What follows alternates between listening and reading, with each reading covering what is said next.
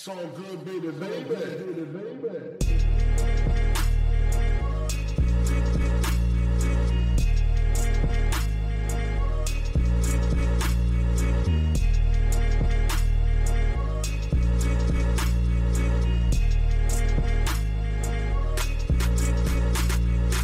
Hallo zusammen, mein Name ist Jan Wehn und ihr hört eine neue Folge vom All Good Podcast. In dieser Woche ist Jan van der Thorn bei mir zu Gast. Die meisten von euch wissen wahrscheinlich nicht, wer das ist aber haben sicherlich schon mal Musik von ihm gehört, denn er ist tatsächlich Produzent und das auch schon seit Anfang der 90er Jahre und hat, würde ich sagen, den Eurodance in der Zeit maßgeblich mitgeprägt. Er hat schon sehr, sehr früh Papa Bear kennengelernt und wurde dann mit ihm zusammen Teil der Booyah Family und hat dort dann unter anderem für Nana produziert, hat aber auch genauso gut mit den Backstreet Boys und NSYNC, mit Mark Wahlberg und Oli P. zusammengearbeitet. Außerdem ist er auch derjenige, der er das erste Mal ein großes Talent in Manuelsen gesehen und ihn von da an auch auf seinem Karriereweg begleitet und gefördert hat. Und er hat produziert für Yvonne Katterfeld, für Nena, für die Simple Minds oder Snoop Dogg, genauso wie für Sammy Deluxe, Echo Fresh oder Capital Bra. Über all das, was er schon gemacht hat und für die Zukunft plant, habe ich im aktuellen Podcast mit ihm gesprochen. Viel Spaß. Wie geht's dir denn? Das ist die beste Frage des Tages. Also, mir geht's eigentlich gut. Also, same shit, different day, würde ich sagen. Wo sind wir hier gerade? Kannst du das mal kurz erklären? ja, also, wir sind hier lustigerweise im Studio, was äh, eigentlich äh, das Studio von Abbas ist, Mhm. ähm, der jetzt in, glaube in Tokio rumschwebt mit seiner Verlobte. Und ähm, ich pendel eigentlich immer hin und her in diesem Gebäude. Ähm, es gibt hier eins, zwei, drei, vier, fünf Studios, Mhm. wovon ich drei selber äh, benutze sozusagen. Ich bin entweder hier, wenn er länger mal, er ist nämlich öfters länger nicht da und so teilen wir uns die Kosten. Ja. Ähm, aber mein festes Studio ist hier gegenüber. Das teile ich mit Vitali Zeskowski. Der ist immer normalerweise von Dienstag bis Donnerstag da und ich von Freitag bis Montag. So haben wir beide drei Tage die Woche. Und äh, aber er arbeitet gerade an sein Album und dementsprechend hat er mir gebeten, du, ich glaube, ich, ich komme mit diesen drei Tagen die Woche nicht, nicht klar. Kann ich mal einfach zwei Monate ein Stück na klar, haben wir das dann einfach vereinbart und deswegen pendel ich jetzt ein bisschen rum. Normalerweise äh, finde meine Sessions oder meine Produktionstage ähm, die drei Tage der Woche einfach statt. Okay. Gut, was hier so passiert, da sprechen wir dann Mhm. später noch drüber.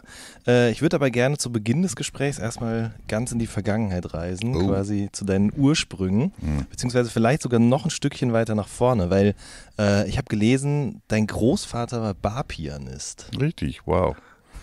Hast du das Ähm, gelesen? Ich, ich weiß, in den Untiefen des Internets. Ja, krank. Ja, tatsächlich. Äh, der war Barpianist und äh, hat so in Holland ähm, dieses äh, Boogie Woogie introduziert. Das Mhm. gab es noch nicht wirklich. Ja. Natürlich schon Platten und so. Aber äh, ja, er war einer der Ersten, der das gespielt hat. Und ähm, das war auf jeden Fall. Leider habe ich ihn nie gekannt Okay. weil er ist äh, leider sehr früh gesto gestorben. Nämlich meine Mutter war sechs oder fünf und dann ist er in einen äh, Arbeitsunfall äh, gestorben. Jetzt nicht im Bar, aber Mhm. äh, ja und äh, aber ja, die Geschichte ist tatsächlich, dass er Barpianist war. Okay. Und er hat aber auch seine Leidenschaft für die Musik auch an deine Mutter weitergegeben, die Richtig. Sängerin und Schlagzeugerin. Ja, genau. Ja. Ja, äh, meine Mama le- leider auch nicht mehr da, aber die war oder sie war Sängerin und Schlagzeugerin tatsächlich und ähm, ja, die war sehr explosiv, sehr sehr eigen und das war in Holland äh, etwas erfrischendes, sage ich jetzt mal. Mhm. Und äh, ja, es kam super gut an. Die war auch ziemlich bekannt Okay. und äh, ja, das war für mich natürlich auch ein Grund. Erstmal gar nicht in die Musik, Musik gehen zu wollen. Das wäre die anschließende Frage jetzt Okay, auch ja, gewesen. gerne. Okay, Dann- dann also als, die als, einfach. als Jugendlicher rebelliert man gerne ja auch gegen seine Ja. Eltern und du hast gesagt, okay, wenn meine Mutter das macht, dann mache ich das mal bestimmt nicht. Richtig. Okay. Ich habe äh, mich für eine ganz andere Kunst entschieden, beziehungsweise Kunst. Äh, ich habe Bild und Medien studiert So äh, eigentlich Kunstakademie, aber dann mehr projiziert auf Zukunft und digital. Ähm, weil ich schon immer äh, mit der Bauchnarbe an den digitale Welt verbunden bin, war. Ein USB. Ja, genau. Und das war schon immer mein Ding. Von, von Anfang an. Ich, allererste Computer, die man kaufen konnte, hatte ich auch tatsächlich. Und ich war schon immer verrückt nach, ich weiß nicht warum, aber es war schon immer mein, mein, mein, mein Realm. Und ähm, ich habe mir dann entsch entschieden, nee, ich mache das nicht. Ich, ich will jetzt digitale Kunst und interaktive Kunst. Und ich habe dann auch noch nebenbei künstliche Intelligenz studiert. Ach was. Ja, was ist, habe ich später herausgefunden, in der Zeit tatsächlich nur in Amerika und Holland gab. Okay. Und es war auch sehr speziell, das mal rauszufinden. Ich wusste das auch nicht. Ich dachte, das ist ganz normal so. Aber alles so, wie künstlich, das kann man studieren? Ja, sogar schon mal damals. Das ist schon eine Weile her, kann ich dir sagen. Ähm, digitale Kunst, was heißt das denn? Also Kunst, die am Computer entsteht mit Zeichen, Programm und so weiter? Oder? Also ich habe ja, das, das Tolle daran ist, ähm, dass die meisten digitale Künstler sind jetzt Musiker oder, oder Mhm. Bildende. Die meisten, nicht alle natürlich, aber die meisten äh, haben natürlich ein ganz großer äh, Inspirationsquelle aus der nicht digitale Welt. Das heißt, du musst eigentlich das andere können, um das Neue, sage ich jetzt mal, besser zu können oder, oder zu verändern vielleicht. Wenn, meistens ist das das Ziel, etwas zu verändern, zu verneuern. So. Und ich habe natürlich klassisch Kunst erstmal gelernt, also beziehungsweise ich konnte natürlich schon malen und zeichnen und dies, das und habe dann erstmal, der Basis dieser, dieser Studium war tatsächlich erste zwei Jahre klassischer Unterricht. Mhm. Malen, Skizzen, äh, mit Klärung, Daddeln, äh, Bildhauen, alles Mögliche. Um dann erst, wenn du dann tatsächlich das alles nicht mehr brauchst, trotzdem aber diesen Hintergrund zu haben. Ähm, ich wollte aber, weil ich ja so rechneraffin war schon immer, ich wollte unbedingt in die Special Effects Abteilung Animation. Das war meine, immer meine, meine Passion, vor allem Animation. Und das war genau der Wende von traditionelle 2D-Animation auf digitale äh, Ebene und dann auch äh, dreidimensionale Ebene. Und das fand ich total interessant und das wollte ich unbedingt machen. Welches Jahr war das ungefähr? Oder willst du das nicht verraten? Ja, doch. ähm, das war. Ja, es müsste 91, 92 gewesen sein. Okay, also sprich filmisch kamen dann so Sachen wie, also was waren Filme, bei denen man das gesehen hat, was dich Also- fasziniert hat? Also Filmen für jetzt normale Zuschauer gab es noch nicht. Okay. Ich, ich, ich glaube, dass der erste digitale, komplett digitale Film war tatsächlich, war es entweder Ants oder es war Toy Story. Aha. Ich glaube sogar Toy Story. Also eher so 94, 94, 95. 95, Ja. genau. Aber du musst natürlich wissen, wenn dann schon ein Film rauskommt in diese Quali, dass da zehn Jahre vorher Mhm. die Welt schon mit voll mit im Gange war. Und das haben wir tatsächlich auch alles, äh, also das, das habe ich auch alles gelernt und so. Okay. Und du hast auch an eigenen Animationsfilmen oder so gearbeitet Ja, ich habe und die Musik fehlte. Ich ha, genau, ich habe für die äh, erstmal fürs Studium natürlich viel machen müssen. Ich hatte, ich hatte mal ein, äh, eine äh, Installation gebaut. Äh, das ist eine ganz lange Geschichte, ich mache die mal ganz kurz.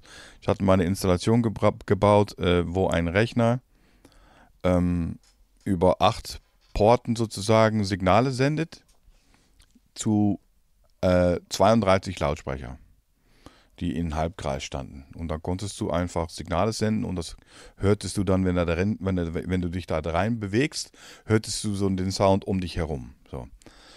Das hatte ich dann, okay, das fand ich cool.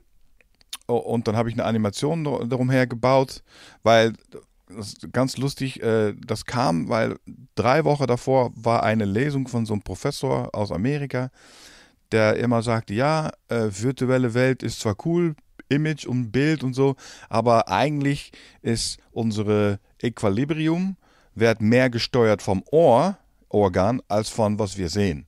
Und das hat mich total so, wow, das ist ja crazy. Das wusste ich natürlich nicht, ich war noch super jung. Und da war das für mich die Herausforderung, okay, wie kann ich dann das Bild und den Sound in, drei, in eine dreidimensionale Welt bringen? Völlig verrückt. Und dann habe ich eine Animation gemacht von Räume, die auf dich zukommen und wieder weggehen.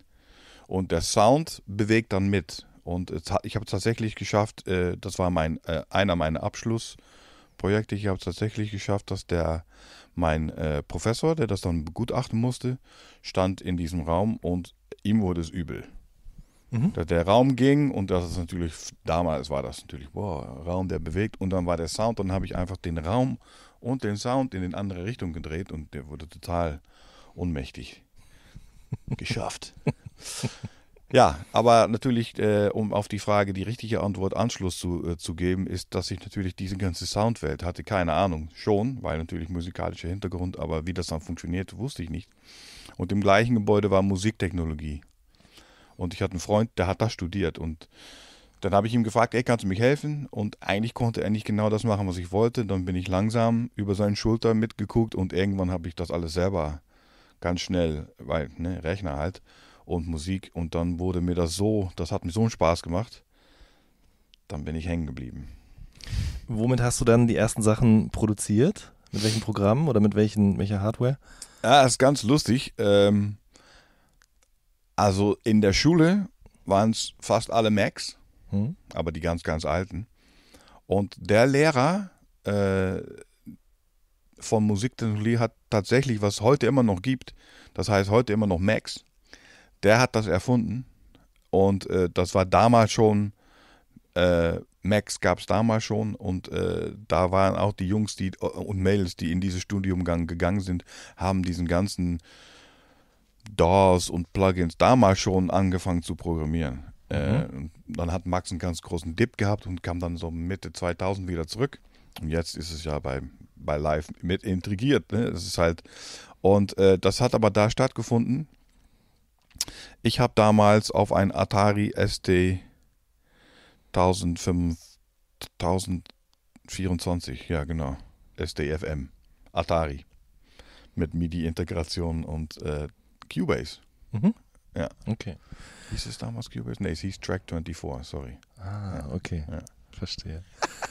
ähm, das waren aber rein musikalische Sachen, also noch ohne Textkomposition und so weiter. Es waren noch nicht mal musikalische Sachen, es waren eher so Soundgewände und okay. ne, da hat es halt angefangen, so, so einfach mal Sounds generieren und ähm, ja.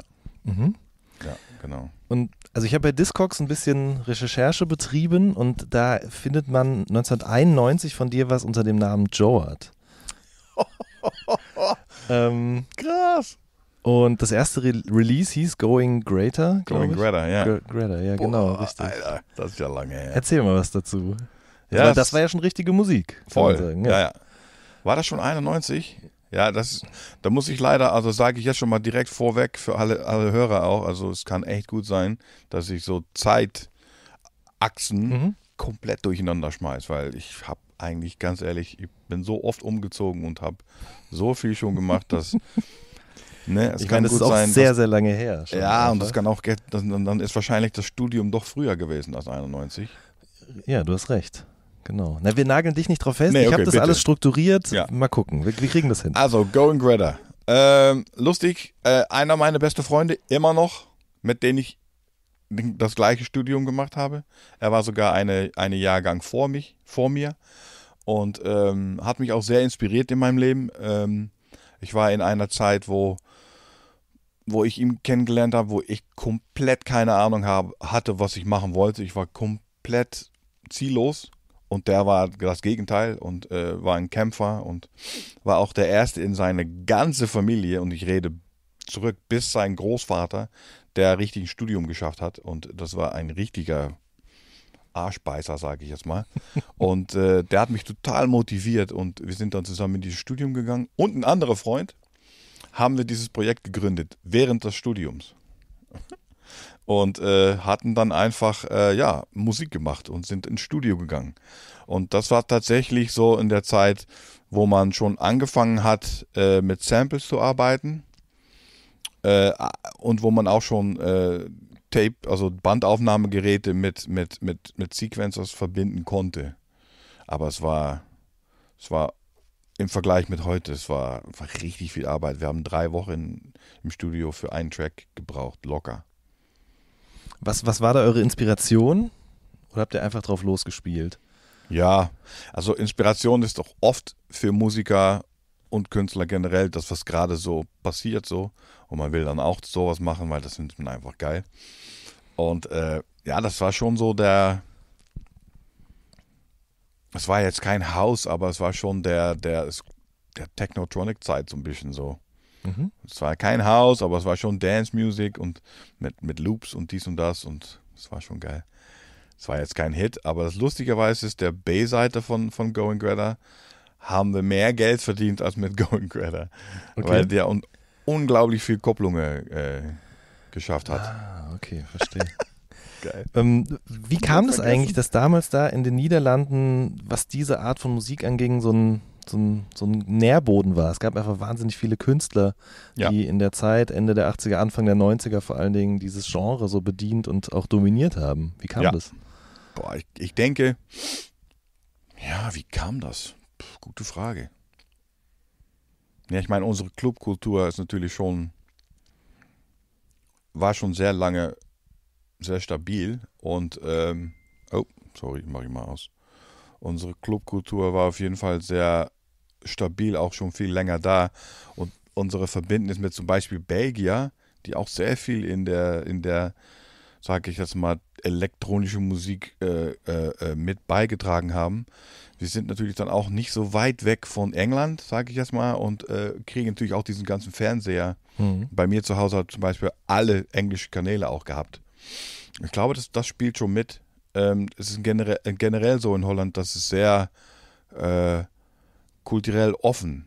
Also, Da kommen ganz viele Strömungen von anderen Kulturen rein, die wir gerne mitnehmen. Und dann, ja, ich denke mal dann, das spielt dann doch schon auf dich ein, denke ich mal. Aber es ist, es ist bis heute so in Dance Music, vor allem elektronische Dance, äh, Dance Musik, sei es jetzt harte EDM oder äh, softere EDM, es wird fast von allem, fast zum 70 Prozent von Holländer regiert. Hm.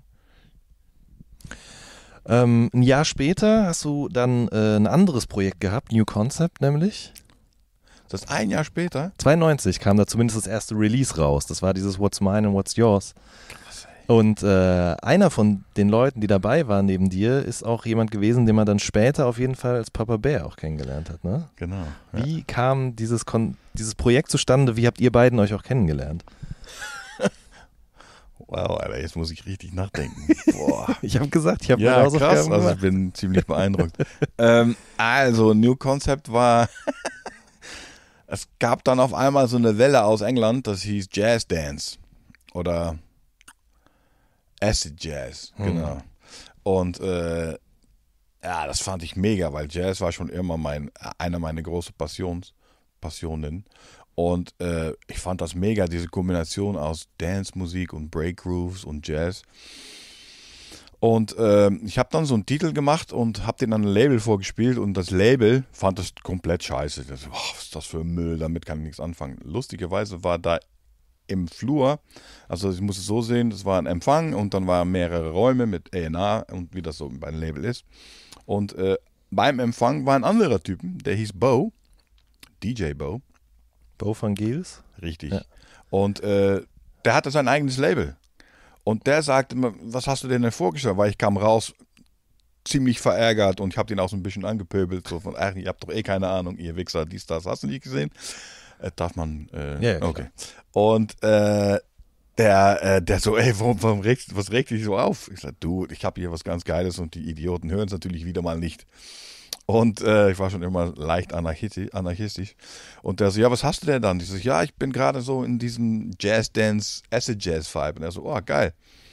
Kannst du es mal mal zeigen? Dann sind wir in den Mastering-Raum gelaufen, wo übrigens ein, auch ein Freund, der damals noch kein Freund war, aber dann Freund wurde, äh, gearbeitet hat. Und habe ich gefragt, ey, kann ich dir das mal vor, kurz vorspielen? Habe es vorgespielt und sagt, oh, das finde ich voll geil. Dann lass mir es doch auf mein Label rausbringen. Und Bo war ja der Partner von June.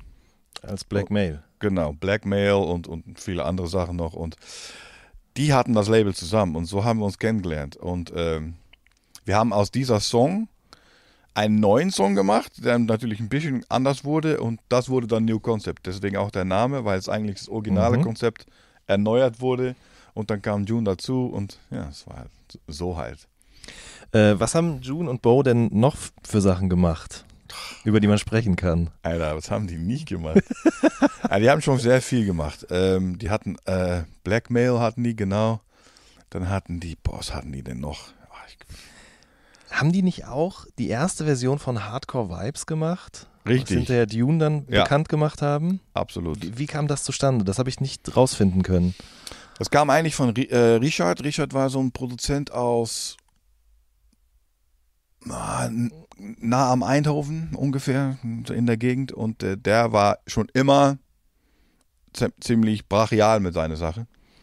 Und äh, die haben dann dieses Hardcore Vibe, weil Hardcore Vibes ist ja ein Sample letztendlich. Und die haben diese Version gemacht mit Hardcore Vibes und das hat dann underground ziemlich gut funktioniert, vor allem auch im Club. Und dann hat June das natürlich aufgepickt. Jetzt June mit Day. Äh, Mhm. Und äh, haben das dann kommerziell groß gemacht. Aber es stimmt, die waren, die waren, die waren zuerst. War June, also mit J, auch bei äh, Technotronic involviert oder war das nur seine Schwester, Daisy D? Das war seine Schwester, genau. Okay. Ähm, er war schon involviert, weil wo sie war, war er eigentlich auch Okay. nicht, jetzt nicht zum 100 Prozent, aber die waren eigentlich vor allem in der Zeit unzertrennlich. Die haben eigentlich alles fast so zusammengebastelt. Und ähm, genau Technotronic und äh, wer auch da ganz viel mitgespielt hat in der Zeit, vor allem in unserem Kreise, war vielleicht bekannt für viele auch, äh, die ein bisschen mehr in die Musikindustrie mit, äh, äh, äh, mitdenken können, ist der Ramon Zenker. Mhm. Der hat damals dieses Projekt, ah, wie hieß das nochmal? Die hatten diesen Who is Elvis und äh, Dildo und die waren ziemlich erfolgreich auch. Ich weiß nicht mehr, wie das Projekt hieß. Aber nicht Erotic. Nee, Nein. ich warte, aber ich google das kurz. Äh, äh, und das Lustige ist, June hat tatsächlich sehr viel äh, mit mitgemacht, mit, mit ganz viele andere Projekte, wo man, wo man ihm gar nicht erwartet hätte. Zum Beispiel auch Too Unlimited. Mhm. Äh, und ich dann später natürlich auch. Ähm, ja, Who is Elvis war nochmal, boah. Nee, ich finde es nicht. Egal, aber das war ein, ein, ein ah doch, ja, Phänomania. Ah, Ja, ja, genau. ja. Ist auch für mich auch sehr lange her, alles Ja. schon, aber es klingelt. Aber was, es war ja. auf jeden Fall, das, das war, das war, das war extrem verneuernd für die ganze Industrie. Das war so, wow, was ist denn das so? Mhm. Die Kreis, also das war schon die Ecke, weil, weil, weil June und Bo und, und auch Daisy und diesen ganzen Clique, das war so in der Ecke von den Niederlanden, jetzt nicht mehr in Holland, wir sind jetzt in, in Mhm. Limburg. Und das ist so, da kommt Belgien und Deutschland und Niederlande zusammen. Ein Dreiländereck. Genau, Ja. Maastricht, äh, Roermond, Ja. Aachen und äh, ja, die, die Phänomenia-Jungs, die kamen tatsächlich aus, aus der Ecke, ich glaube Ecke Krefeld oder sowas. Und da, da ging dann auf einmal ganz schnell in alle Richtungen, weil auf einmal das, genau das Dreiländepunkt war, glaube ich, sehr wichtig. Mhm. Was war June für ein Typ? Also, ich, wenn man das alles liest, was er so gemacht hat, damals schon und später auch, man kann sich gar nicht vorstellen, dass ein Mensch alleine sowas alles irgendwie äh, geschafft hat. Also, erzähl mal ein bisschen über ihn, was für ein Talente er hatte. Äh, Junes Talent. Ja, also es, es gibt viele, es gibt viele Wege, das, das, äh, das erklären zu können. Aber was June vor allem sehr gut kann und konnte, ist äh, Song schreiben, also Texte und, und, und sogar auch Melodien. Ähm, Melodien waren nicht immer on point, sage ich jetzt mal, aber seine Texte waren, der, der Typ konnte Texte schreiben wie fließendes Wasser. Sie- es hat einfach, ich habe ihn noch nie erlebt, wo er dachte, boah, was sage ich jetzt so. Der hat immer, ist einfach so, wie er auch ist als Typ, so, der war einfach immer spruchbereit. Und äh, deswegen war er sehr, sehr gewollt, weil du hast ihm eine Session geholt und es wurde dann zwei, drei Stunden fertig, so der Typ. Unnormal. Bis heute. Kann er bis heute und ähm, vor allen Dingen habt ihr dann angefangen, auch weiter miteinander zu arbeiten. Bei New Concept, aber dann auch bei Rick Dick zum Beispiel. Boah, Alter. Der Song Bombastic, ne? Bombastic, genau, Ja. richtig. Ähm, also au- aus dieser Bekanntschaft, die dann über Bo zustande kam, ist dann auch wirklich eine, eine Zusammenarbeit geworden. Ja? Genau. Also wir haben uns, es ist, ich sage jetzt was ganz komisches und ziemlich persönliches, aber ich habe mich schon immer gut verstanden. Komischerweise, ich weiß nicht, wo es herkommt, aber mit Stieren. Mhm. Ich weiß nicht, was es ist, aber ich habe schon immer gemerkt, Leute, die, mit denen ich sehr gut befreundet bin, sind entweder Wassermänner oder Stieren. Das ist ganz komisch. Ich weiß nicht, was das ist. Und er war Stier, wir haben uns direkt verstanden. Und einfach auch, es war schon so, wir haben teilweise über Sachen gelacht und Leute haben geguckt, so, was ist denn los mit denen so? Und wir, haben, wir waren die einzigen beiden im Raum, die, die sich komplett die Hose gewässert hatten vom Lachen. Und keiner wusste warum. Das hat einfach schon immer, das war schon immer so. Das ist bis heute so. Ich kann ihn jetzt sehen und dann, ohne was zu sagen, fängen wir an zu lachen, weil wir natürlich auch eine riesige Geschichte haben. Und es, ja, es ist halt so, wir waren von Anfang an, war das, hat das gefunkt. Hast du dann von ihm auch ein bisschen das mit dem Texten gelernt? Nee. Nee? Okay. beziehungsweise das ist jetzt respektlos zu sagen, nee, aber wir waren nie auf einen gleichen Weg. Er ist ganz anders als ich unterwegs und das hat, das war auch der Grund, warum wir so gut zusammengewirkt haben, weil seine Art Texten ist ganz anders als meine Art Texten. Er ist eher Umgangssprachler, schnellgriffige, ich sag dir, wie es geht, läuft so blablabla Texte und ich bin dann doch eher so ein bisschen mehr so der blumigere Typ, sage ich jetzt mal, ganz dumm. Aber bei mir muss es schon irgendwie, ich brauche was, was Spezielles, er braucht sich nur ausdrücken. Okay, verstehe. Wann ging das denn bei dir mit dem Texten los? Also wir Ja, sind jetzt ja ungefähr Bombastic im Jahr 95. Mhm. Hast du zu der Zeit schon auch selber, Ja. ja, okay. Ja. Wie fing das an, dass du nicht nur Musik, sondern eben auch Texte gemacht hast? Ja, weil ich eigentlich natürlich später auch erfahren, ich bin ja eigentlich Schlagzeuger. Mhm. Das heißt, Timing war schon- immer mein Ding. Und ich habe ich hab eine, wahrscheinlich auch der Grund, warum ich so viel und gerne mit Rechner immer, ich bin sehr metrisch. Und alles, was mit Metrik zu tun hat, fasziniert mich zu Tote. Und ich habe irgendwann gemerkt, so das mit Wörter und dieses Timing, das ist geil. Und äh, ich glaube, das ist es. Und bin natürlich Sänger. Du musst auch was zu sagen haben. Du kannst ja nicht nur la la la la la singen. Und ich glaube, diese Kombination aus Metrik und, und, und Timing und Gesang, das ist mit, mit Texten, ist das, das ist verdammt filigran. Aber du hast dann auch erstmal nur für deine eigenen Projekte getextet und gesungen und Genau. geschrieben. Und ja, Ja. okay. Äh, du hast vorhin jetzt schon Too Unlimited kurz angesprochen und dein Involvement und das von äh, June. Kannst du da noch was zu sagen? Ja, also erstens ist der Ray schon seit sehr vielen Jahren einer meiner besten Freunde, so wie June. Äh, Ray sehe ich öfter, weil er noch immer unnormal viel auftretet mit Tour Unlimited und sehr Mhm. oft sind wir in der gleichen Gegend und dann sehen wir uns. Das freut mich total. Äh, ich habe in den Anfangszeiten von Tour Unlimited äh, nichts mit beigetragen, weil ich damals auf einem ganz anderen Film war und fand diese Musik damals richtig albern. Mittlerweile feiere ich es zu Tote und später fand ich es auch, also Anfang 2000 wurde ich, war das genau das, wo ich dachte, boah, ey, wo ist diese geile Musik hin? Aber damals fand ich es überhaupt nicht cool. Okay. Und June schon, und deswegen June war Texten, hat auch diese Twilight Zone äh, Topline und Text geschrieben zum Beispiel. Nicht die Raps, aber diese Hookline. Ähm, ich bin dann, weil mit Ray sehr gut befreundet, sehr lange, Anfang 2000 kam, kamen äh, Ray und Anita wieder zusammen, nach locker 15 Jahren. Das erste Mal, dass die beide wieder zusammen waren, weil die waren verkriegt und dies und das und Label und Management und Produzenten, die haben sich alle nicht vertragen. Und in 2006, 2007, ich weiß nicht mehr ganz genau, kamen die wieder zusammen. Und aber die mit, nicht mit den Produzenten, die konnten das, das ging einfach nicht, das war kaputt. Und dann hatte Ray mir als erstmal als Freund, hey, hättest du? Und ich so, kann ich mir schon vorstellen. Damals war ich in Hannover und äh, man haben wir Sessions gemacht und dann das allererste, allererste Comeback-Single von die beiden habe ich dann produziert. Ah, okay. Ja. Ja. Und das, äh, das war ziemlich erfolgreich. Das hatten wir auch gar nicht erwartet. Aha. Aber es war auf jeden Fall nice. Und, äh, aber Tour Unlimited eher freundschaftlich, weniger mitgearbeitet, aber schon. Okay. Okay. Dann erst noch die Frage, Toni und Bülent, was, was waren die beiden für Typen? Möchte ich, ich da möchte ich nicht zu viel über sagen. Okay. Äh, beziehungsweise ich, ich sage ein bisschen was, Mhm. aber das ist für mich jetzt nicht die schönste Zeit meines Lebens. Schon sehr viel geschafft und sehr viel gelernt, aber auch Sachen, die mir bis heute äh, als negativ äh, für mich selber sind. Ähm, Bülow, eigentlich ein sehr herzlicher Mensch. Ähm,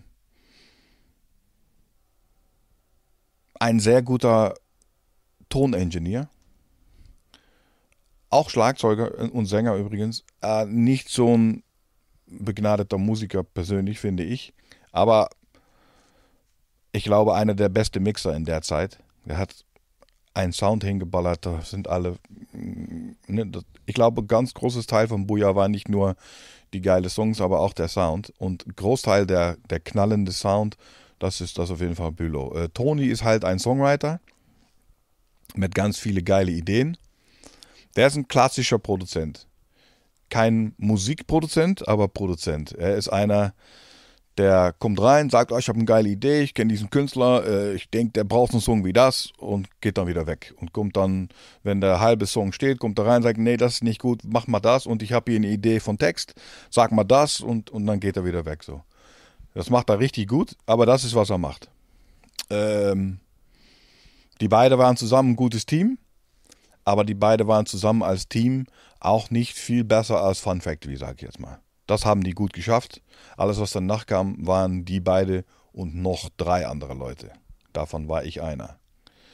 Und das, was mir an den am Ende-Effekt an die ganze Konstellation gestört hat, ist, dass die beide es niemals zugeben konnte, bis heute, dass dieser Erfolg von fünf Leuten gemacht wurde und nicht nur von die beiden. Deswegen war ich auch der Erste, der abgehauen äh, ist, weil dann gab es beim zweiten Echo-Nominierung eine, eine Rede von den beiden und die haben alle Künstler bedankt, aber keiner der anderen Produzenten und Songwriter. Und da habe ich nach der Verleihung, habe ich im, äh, in der Afterparty den beiden gesagt, ab morgen bin ich übrigens raus. So, dann bin ich, ab, bin ich abgehauen. Mhm. Okay. So viel zum Thema Buja, bitte. Mhm. Beziehungsweise Toni und Bülow. Okay, kannst du das Handy vielleicht auf die andere Seite legen? Na, gerne. Weil ich weiß nicht immer nicht genau, ob die Dings da, die Strahlen Problem. irgendwas Kann ich machen. auch gerne rausrechnen nachher, wenn es Problem ist. Okay. Aber das kostet dann, ne? Nee. Ähm, okay, dann aber jetzt zu der Backstreet Boys Sache. Du erzählst es einfach so nonchalant daher, aber ich, ich meine gut, die Backstreet Boys waren zu dem Zeitpunkt auch noch nicht so riesengroß, Nee. wie sie es danach dann wurden. Eben. Wie, wie kam diese Zusammenarbeit mit Backstreet Boys und NSYNC zustande? Also Backstreet Boys kam über Tony.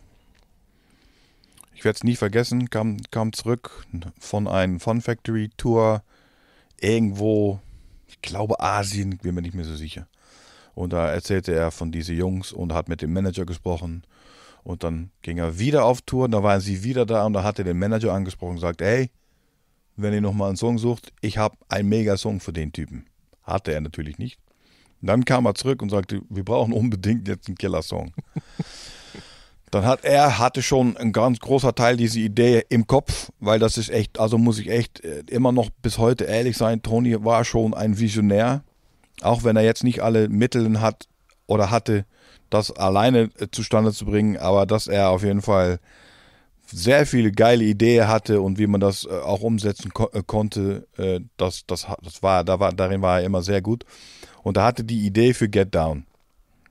Äh, dann haben, äh, dann hat Bülow das musikalisch so ein bisschen umgesetzt und dann kamen June und ich dazu und haben das dann so ein bisschen den Swag gegeben, die es noch brauchte. Hm. Äh, aber im Grunde genommen äh, ging das ganz schnell. Und ja, ich meine, dann ein Song mit Backstreet Boys, dann war natürlich InSync, gleiches Management, gleiches Label.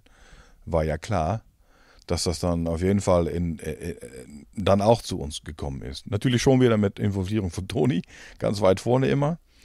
Der holte sozusagen immer diese, Toni war so der Köder auch, der hat immer die Sachen reingeholt, so, das konnte er richtig gut, der Typ bis heute, der kann reden wie ein König. Äh, ja, so ist es eigentlich gelaufen, das ging auch richtig schnell und dann kam auf einmal Marky Mark und wir so, okay, äh, müssen wir auch machen. Mhm. Äh, sind die Bands denn auch bei euch gewesen oder wart Klar. ihr bei denen? Okay, also Ja. die Backstreet Boys und NSYNC waren dann mit euch im Studio und haben Ja, ja, die waren eher am Anfang nur in Europa. ja. Die haben genau, die ersten, ja, die Sachen waren in Europa Jahren, sehr alles erfolgreich hier in Ja, genau. okay. Ne, Dennis Pop, Max Martin, Hamburg. Dennis Pop, Max Martin, Hamburg, Buja. Hin und her, die ganze Zeit. Mhm. Mhm. Das war schon lustig. Wie waren die Jungs damals so drauf?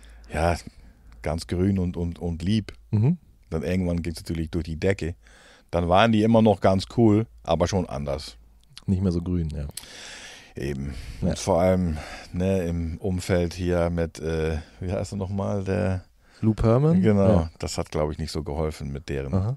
ganzen Minds, Ja, sag ich jetzt mal. verstehe. Ne?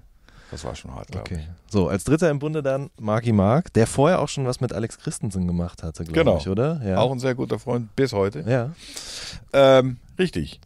Ähm, ja, das kam dann irgendwie auch so auf den Tisch. Äh, ich war dann wieder in Holland, kam zurück. Ja, Marky Mark. Oh, cool. Dann haben wir zwei Songs zu denen gemacht. Erst äh, Hey DJ. Da habe ich dann äh, bei Hey DJ habe ich dann gesungen und mitgetoplined. Und bei Feel the Vibe habe ich auch teils des Produktions dann übernommen. Ja, mit Marky war toll, weil dann ging es auf einmal los. Und dann musste ich auf einmal nach LA fliegen, um ein Video zu drehen. Das war eine ganz komische Geschichte. Weil, äh, ja, sagte Marky und, und Management-Team, wir haben dich zwar einfliegen lassen, weil du in Europa zwar schon ein ziemlich bekannt, bekannter Sänger bist, auch dies, das, links, rechts. Aber ja, hier für Amerika wird das nicht funktionieren.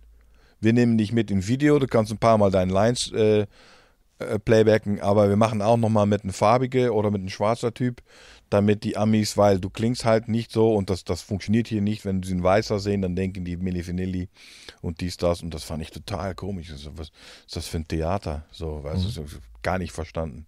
Das war eine ganz komische Geschichte für mich. Dann war ich drei Tage in, in L.A., hab nur Hotel Videodreh gesehen und dann kam auch noch diese komische Geschichte mit, ja, jemand playbackt eigentlich genau das, wo die für sagen, wir wollen das nicht, weil Milli Vanilli, machen die genau das Milli Vanilli, weil der Typ hat nichts gesungen. So, das war alles nur ich. Und das fand ich, das hat mich bis heute so verwirrt. So, wa- wa- warum? Egal. Ähm, dann kam er wieder nach Europa und dann haben wir uns äh, länger auf jeden Fall noch äh, auf Shows und dies unterstützt, weil in Europa hat das dann schon nur mit mir gemacht. Und wir waren dann auch ziemlich lang, jetzt nicht befreundet, aber Bekannten so. Und äh, ja. Ähm, hat er denn dann eigentlich die Sachen nur gesungen oder hat er auch am Songwriting oder an den Melodien und so mitgearbeitet? Nee, aber er hat auf jeden Fall die Raps geschrieben. Mhm. Also seine Raps, die hat er selber geschrieben. Ja. Oder Okay. mit seinen Leuten, das weiß man ja nie. Mhm. Aber das ist jetzt auch, das ist auch nicht relevant, glaube ich. Aber äh, die Rap-Teil kam immer von ihm und die Hooklines und die, und die Produktion kamen von uns. Okay. Ähm, das ist jetzt eher so Ende 96 gewesen. Da gab es dann Booyah Music Ich schon. glaube ja. ja. Ähm, du hast gerade schon gesagt, Tony, eben jemand, der gute Visionen hat, gut so Sachen noch ausformulieren konnte. Hatte er oder hattet ihr, hatten die mit Booyah dann eben auch so eine klare Vision schon, die man mit den Künstlern und Produzenten geteilt hat? Von außen wirkte das schon so ein bisschen Also so. Mit Teilen war nichts bei Buja. Nein, Scherz. Ähm, ja, Vision hatten die auf jeden Fall. Vor allem Tony. Äh, wie gesagt, nach wie vor würde ich immer, das werde ich auch immer behaupten, das Herz von Buja war Tony. Weil es war seine Vision und er wollte unbedingt die europäische Bad Boy sein. Ja, das steht hier auch. Ja. ja. Und das ist ihm auch ziemlich gut gelungen, muss ich sagen. Mhm. Und ich sage mal ganz ehrlich, ich will jetzt keiner Disrespekt äh, zeigen, aber das ist bis heute das erfolgreichste Produzenten, Künstler, Clique, die es je gab. Ist einfach so. Es hat keiner bis jetzt über, übertroffen. Kein Kapis, kein Nichts. Das, was wir damals geschaffen haben, das hat keiner übertroffen bis jetzt. Ist einfach so. Du hast eben gesagt, äh, das waren nicht nur zwei, sondern es waren auch es waren fünf Leute am Ja. Ende. Du warst einer davon. Äh, Rookie war auch einer davon, Genau. nehme ich an. Erzählst Ja. du mal vielleicht etwas über ihn? Rookie, Killer, Killer-Typ. Also, wenn einer Talent hat, um irgendwas zu machen, wo er Bock drauf hat, dann ist er es. Also, das ist so ein, das ist schon so ein Typ wie ich, der einfach sagt, oh, ich habe heute Bock, ach, weißt du was, ich will jetzt mal Gra Grafiker werden. Eine Woche später ist er Grafiker, hat eine ganze Firma geöffnet, dies, das. Ach, weißt du was, ich glaube, ich werde jetzt mal Apps bauen. Ne? Wochen später baut er Apps, hat eine Firma. Der Typ ist einfach, wo er Bock drauf hat, das kann er. Der ist überkrass. Äh, bis heute sehr gut befreundet mit ihm. Der wohnt hier auch in Berlin. Ähm, du, Rookie war sehr wichtig für Buja. Vor allem, weil Rookie und ich und June uns sehr gut verstanden haben und wir haben ganz viele Sachen, die dann später rauskamen, einfach zu dritt geschaffen. Nebenan. Wir hatten ein eigenes kleines Studioraum. Sagen wir jetzt mal, das ist jetzt Bülos und dann die kleinere drumherum war dann ich und Rookie. Und äh, wir haben ganz viele Sachen einfach vorproduziert und vorgelegt und Toplines und Hooks. Und dann ging es ins große Studio, wurde nochmal ein paar Kicks geändert oder nochmal ein paar Chords geändert und dann kamen die Künstler darauf und tschüss. Rookie äh, hat dafür gesorgt, dass diese äh, Brücke zwischen das große Studio und die kleineren Studios äh, einfacher war, weil er auch Türke ist und Bülow auch und die haben natürlich dann ein anderes Verständnis gehabt. Das hat man schon gemerkt. Und auch weil der Vater von Rookie, Vater von Rookie, äh, war, äh, war, ich sag jetzt mal, war ein guter Freund von der Vater von Bülow. Oder, oder ein guter Freund von Bülow, ich weiß nicht mehr genau, aber irgend sowas war. Das heißt, hierarchisch war Bülow unter der Vater von Nejo, äh, von Rookie. Und das hat der, der Verhältnis in, in Buja eine ganz andere Dynamik äh, verpasst, was sehr gut war. Und das daneben der unglaubliche Fähigkeiten von, von Rookie, war ein Übertalent. Und bis heute verstehe ich nicht, warum er aufgehört hat, Musik zu machen. Ich denke einfach, weil natürlich Familie und Druck von Familie, äh, sein, seine, jetzt nicht seine Frau und Kinder, aber der andere Seite der Familie, um natürlich äh, Geschäft und dies und das. Das war dann in der Periode, wo die Musikbranche so abgestürzt ist. Für ganz viele war das sehr schwierig. Für mich auch, aber ich bin trotzdem weitergegangen. Ähm, So, und der fünfte im Bunde dann war June? richtig. Okay. Ähm, wenn ihr dann diese Sachen vorproduziert habt, sind die dann einfach in einen großen Pool gegangen oder habt ihr schon so von Projekt zu Projekt gearbeitet? Jetzt ist Genau, Nana nee, dran, wir jetzt haben schon- okay. Und vor allem das Geile war auch, Tony war öfters bei uns als im großen Studio, weil er hat einfach gemerkt, okay, da kommt viel mehr raus und er hatte Ideen bis Weihnachten und äh, der wollte, der ist immer bei uns gekommen, hat dann Ideen gespuckt und mit June hin und her und dann ich wieder Toplines und dann mach mal diesen Beat, hör noch mal den Song und dann gehen wir zu Rookie. Eigentlich war das so, das Creative Herz war eigentlich die kleinere Räume und das große Studio, sag ich jetzt mal, war einfach nur der Fertigmacher. Okay, verstehe. Ähm, 97 ähm, habt ihr dann am Papa Bear Album gearbeitet, beziehungsweise an Cherish. Ne? Das war die erste Single, quasi basierend auf dem Cool and the Gang Song. Was war der Grund dafür, dass ihr gesagt habt, okay, wir nehmen jetzt Toni. den Song? Okay. Tony hat mal gesagt, ey, ähm, wir wollten das damals schon mit Fun Factory mal covern, aber wir hatten keinen guten Sänger. Dies, das, links, rechts. Äh, das wäre doch geil, um das mal mit Papa. Oh, lass, lass uns das doch mal machen und dann suchen wir einen geilen Künstler. Dann haben wir es erst mit Nana versucht, so wie ich mir das erinnere. Das hat nicht so funktioniert, weil das dann doch ein ganz anderer Vibe ist. Nana ist eher dark und dunkel und, und äh, Cherish ist halt fröhlich und böhlig. Ne? Und äh, dann hat June gesagt, ja, wäre doch geil, wenn man das so wie, so wie Biggie so auf äh, I love it when they call me Big Papa, so ein bisschen, haha, fickt euch alle, so, weißt du, diesen Vibe. Und das war genau richtig. Der hat das einfach verstanden, hat dann einfach diesen Song darauf geschrieben, diesen Rap-Lyrics. Und dann waren alle so, scheiße, ist das geil. Wir haben einfach ein, ein schnulziger, richtig schnulziger Sch- Ballade, Popballade, einfach so viel Swag verpasst, nur weil diese Rap-Lines und der Flow hat es einfach komplett gedreht. Und dann wurde es klar, okay, das ist ganz geil, geiles, geiles Prinzip. Prinzip, sagst du jetzt schon. Das ihr habt es ja nicht nur einmal gemacht. Nee. So, ne? Also, das war schon auch mit einkalkuliert, dieses, das ist ein Song, den gibt's schon, wir brechen den sozusagen und wir brechen den und bringen noch ein bisschen Rap und Swag mit rein und dann wird das schon anderen Leuten auch gefallen, die man Genau. vorher vielleicht nicht abgeholt hat. Genau. Ja. Aha. Ich glaube, jedes Zeitalter hat so eine Zeit. Und das ist, äh, ja, das, das, also ich nenne das, ja, also das Auge in einem äh, Wirbelsturm ist immer äh, in der Mitte. Hm? Und so in der, in der Zeit zwischen sechs und, und, und, und zehn, sage ich jetzt mal, ist Wirbel, wir- das Auge sehr stark und dann, dann verschwächt es. Und dann muss man halt, äh, das, das, ich weiß nicht, wie heißt Debris auf Deutsch?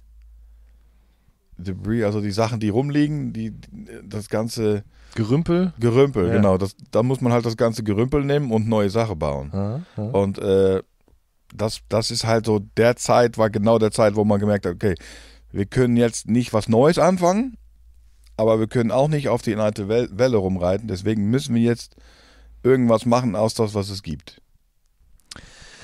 Ähm, wir haben ja am Anfang schon mal darüber gesprochen, was so deine Inspiration war. Und du hast dann gesagt, das, was man halt gerade so hört, man will es dann auch so machen und dann entsteht daraus was Eigenes. Was war denn dann zu der Zeit so deine musikalischen Vorbilder? Puh. Das ist ja was ganz anderes als die Sachen, die du dann 91, 92 gemacht hast, würde ich Ja. sagen. Ja? Absolut. Also gab es amerikanische Produzenten, von denen du sagst, zu denen habe ich aufgeschaut oder? Also wir haben bei Buja schon Sachen gemacht, die wir selber auch gefeiert haben. Wir haben es nicht immer für 100% um, umsetzen können, weil A&Rs und Labels immer sehr, ja, ist für Deutschland. Ist zwar geil, Puffy, aber mach doch mal Puffy für Arme. Ne? Das ist leider Mhm. der Standardspruch im Musikgame. Beyoncé aber für Arme. äh, und ähm, wir haben damals tatsächlich, also auch ich, äh, also Biggie, äh, Bad Boy, Dre, äh, Drake, sorry, äh, nee, nicht Drake, Dre, doch ich war Mhm. richtig, Dre, ähm, selber ein großer Brian McKnight-Fan, Boys the Man, so, sehr viel R&B gehört auch. New Ähm, Jack Swing. Ja, New Jack, aber das, das war schon dann wieder, New Jack war dann schon alt. Stimmt, ja. ja In Deutschland nicht, das stimmt, aber Mhm. für uns, also für uns Holländer war. Ein alter Hut. ja, also eigentlich 91 war New Jack schon fast tot. Okay. Und äh, na, stimmt nicht ganz. Egal, also ungefähr so 93 ja, Ju- war New Jack auf dem Weg raus. Und das hast du auch gemerkt, weil dann war auf einmal Backstreet Boys und NSYNC und so, das war New Jack für, für, für die neue Welle sozusagen. Und äh, ja, das, also ich war schon eher amerikanisch aff- affiniert, sage ich jetzt mal, äh, sehr viel RB, Hip-Hop. Ähm, war aber auch bis heute sehr Jazz-minded und ähm, das war aber im Buja, hat, da gab es keinen Platz für. Mhm. Das war aber auch okay. Okay. Hat mich nicht gestört. Ähm, habt ihr euch dann, habt ihr das alles selbst eingespielt? Habt ihr euch Musiker ins Studio geholt? Die Sachen klangen ja schon sehr dick und nicht alles nur am Computer irgendwie zusammengeklickt. Es waren schon auch viel echte Instrumente, hätte ich jetzt gesagt, wenn man die Sachen hört. Ja. Schon. Okay. Bei NSYNC, ja. Hm? Bei alle andere Sachen, ja, mal ein Gitarrenspieler Okay. oder mal ein Bassisten, aber Mhm. meistens doch, meistens doch alles aus der Dose. Okay. ähm, würdest du sagen, dass es so einen Booyah Trademark Sound gab?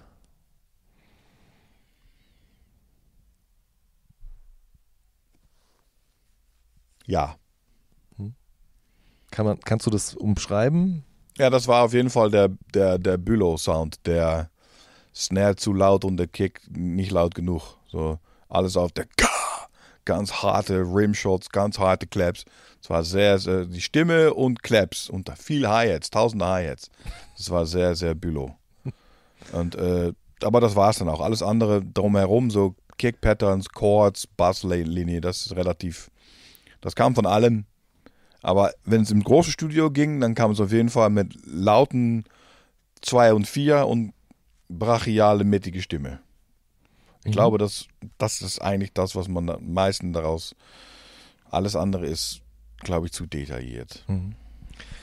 Äh, Mich hat der Sound immer auch an 3P erinnert. 3P, mehr Bass, war ja auch immer der Slogan. Also nicht, dass ihr genauso klangt, aber Moses Pelham hat sagt genau das Gleiche, wenn man ihn fragt. Also Aber Moses Pelham in 3P war später. das war später, ja, Ja, ja, ja, klar. Ja. Und ja, aber bei was ich bei, bei, bei der, der 3P-Sound fand ich, ähm, was die gemacht haben, finde ich bis heute geil. Die haben genau das gemacht, wo du denkst, okay, die Amis machen das, gut, dann machen wir genau das Gegenteil. Mhm. Die Amis nehmen irgendwelche knackigen, kurze Snares, dann nehmen wir irgendeinen fluffigen, holzigen Snares. Die haben immer genau das gemacht, wo du denkst, äh, das klingt aber gar nicht Ami-mäßig. Und das war sehr klug, fand ich. Mhm. Das hat mich bis heute beeindruckt, dass die das einfach mit die nicht gängige Sounds trotzdem den Sound gemacht haben. Das war echt nice. Ähm, bei Booyah kam ja viel Rap raus. Also Ja. Papa Bear, Nana, auch noch andere Sachen, Tony selbst.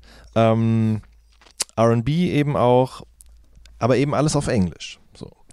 Ähm, hast du dich dann in der Zeit 97, 98 rum auch für deutschsprachigen Rap interessiert? Ich meine, Null. Okay, gar nicht. Auch wenn in Hamburg natürlich so ein, ein Epizentrum war, aber das war nichts. Nee, es war dich. noch nicht so weit. Ja. Und mit allem Respekt, auch die deutschsprachige Rap, die damals richtig gut war, war eigentlich Ami. Weil Torch war ist nun mal kein Deutscher. Auch wenn er hier geboren ist und groß geworden ist. Aber seine Kultur ist nicht deutsch. Und äh, das hat man auch gemerkt. Und dann kam hier diesen Zie- Zieber Twins oder wie heißen die nochmal? Stieber Twins, Stieber Twins, genau. genau. Das fand ich schon swaggy, muss ich sagen. Das fand ich damals schon so, oh, okay, warte mal. Deutsch hat mich auch schon so abgeholt, aber ich muss auch ehrlich gestehen, damals habe ich noch gar nicht so richtig gut Deutsch verstanden oder gesprochen. Deswegen wahrscheinlich großteils der Grund, warum es mir damals null abgeholt hat, weil Deutsch für mich noch immer sehr überfordernd war damals. Boah, Deutsch, boah, ist zu viel Schisch, Schisch, Schisch und so, oh, das ist alles so schnell und oh. Wir haben da bei Buja auch kaum Deutsch geredet, Mhm. weil da waren eigentlich drei Deutscher, sondern äh, ich und June und dann relativ viele Amis. Mhm. Es war halt, wir haben nicht so viel Deutsch geredet. Schon so untereinander, aber da, da war mein Deutsch noch sehr, sehr arm. Und das war da, dann kannst du Deutschrap gar nicht genießen. Geht nicht. Ja. Aber Stieber Twins, warum fandst du das gut? Ja, weil die haben geflowt. Das Mhm. waren die ersten, die irgendwelche Timing-Tricks gemacht haben, wo du dachtest, oh, das ist ja fresh. Mhm. Und das habe ich schon gemerkt. Ja, weil in der gleichen Zeit mit allem Respekt bis, bis heute nie verstanden. Sorry, nimm es mir nicht übel, aber Fanta 4 war für mich ein Witz. Ich habe gesagt, was sind das für Clowns? Mhm. Das kann man doch nicht ernst nehmen. Die haben nur haha, hihi, ho, bo. Das war für mich völlig albern. Und das ist hart, ich weiß, und das will auch keiner hören, weil ich verstehe schon, kulturell sind es natürlich absolute Könige. Kommt auch immer drauf an, wen man fragt. So, ne? Ja. Ich glaube, also ich meine, Dida war ja auch ein Witz. Das war ein Witz in Songform. Ne? Ist Ja, es ja. Dida oder Dida, diese Verwechslung, eine Komödie in drei. Minuten? Ähm, für viele Leute, glaube ich, aus der, aus der deutschen Hip-Hop-Szene war das damals auch alles andere als real. So. Und ich glaube, die Fantas haben sich dann erst im Laufe der Zeit wieder so ein bisschen ähm, Reputation und Kredibilität zurückgeholt, aber sind natürlich trotzdem immer so ein bisschen an, neben allen anderen gefahren. So. Ja. Also für mich lyrisch sehr gut Mhm. im Retrospekt. Aber trotzdem bleibt es für mich Clown-Rap, weil es immer nur Wortwitz war. Es war nie ein seriöses Thema für mich. Es war nie ernsthafte Themen oder es war immer nur haha, Wortwitz. Haha, unter, äh, in Holland nennt man das Unterhose-Humor. Mhm. Okay.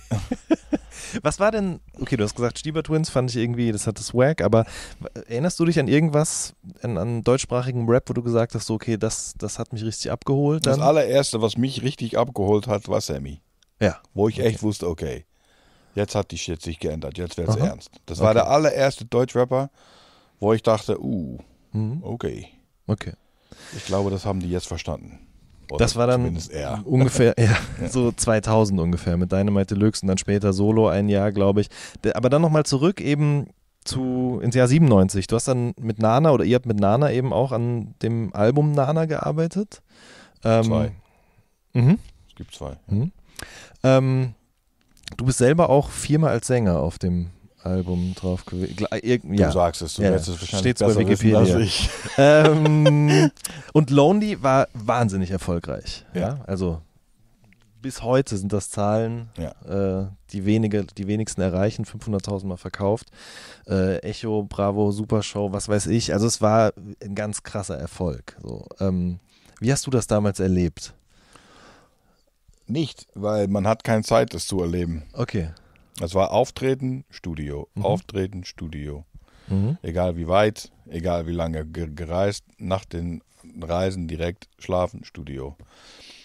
Ich habe auch in der Zeit und noch ein bisschen danach, äh, sagen wir jetzt mal bis zwei, na, bis, bis 99, habe ich, glaube ich, die ganze Welt zweimal gesehen, aber nie länger als zwei, drei Tage am Stück. Und ich war überall, aber habe nichts erlebt. Was Mhm. eigentlich geil ist und total traurig gleichzeitig. Ich wollte dich gerade fragen, hat es, hat es Spaß gemacht? Ja, Okay. oh ja, nee, das, das hat mit Spaß nichts zu tun, aber wenn man zurück, man, es ist zum, zum Beispiel extrem peinlich, wenn jemand sagt, ah ja, äh, ja, wir gehen äh, zu, äh, wir gehen zu äh, Tokio. Oh geil, da war ich auch schon mal. Oh, wo warst du denn? Pff, ja, äh, Tokio. Und dann klingst du schon so wie so ein, so ein Großtour, der immer nur mitreden will. Aber ich war da, aber frag mir bitte nicht wo. Mhm. Weißt du so? Mhm. Irgendein Venue, irgendein Hotel, Mhm. irgendein Flughafen so. Das ist schon krank. Mhm. Und das kann ich über locker 60, 70 Prozent der Welt sagen so. Ich war überall. Ja. Aber nirgendwo so. Verstehe. Aber man kann schon sagen, dass insbesondere dieses Album euch durch die ganze Welt gebracht hat. Oder ja. Das Nana-Album, ja, meinst du? ja. Ja, obwohl Nana, Nana war schon sehr europäisch. Okay. Ist, Papa Bär war dann weltweit erfolgreicher. Okay. Ja. Okay.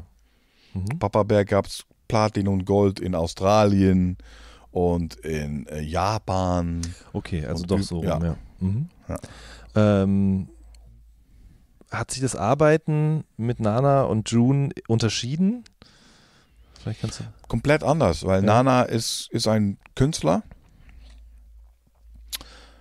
der seine eigenen Sachen übrigens geschrieben hat, bis heute auch noch. Äh, das war jetzt kein Interpret, was ganz viele behauptete. Mhm. Stimmt gar nicht. Mhm.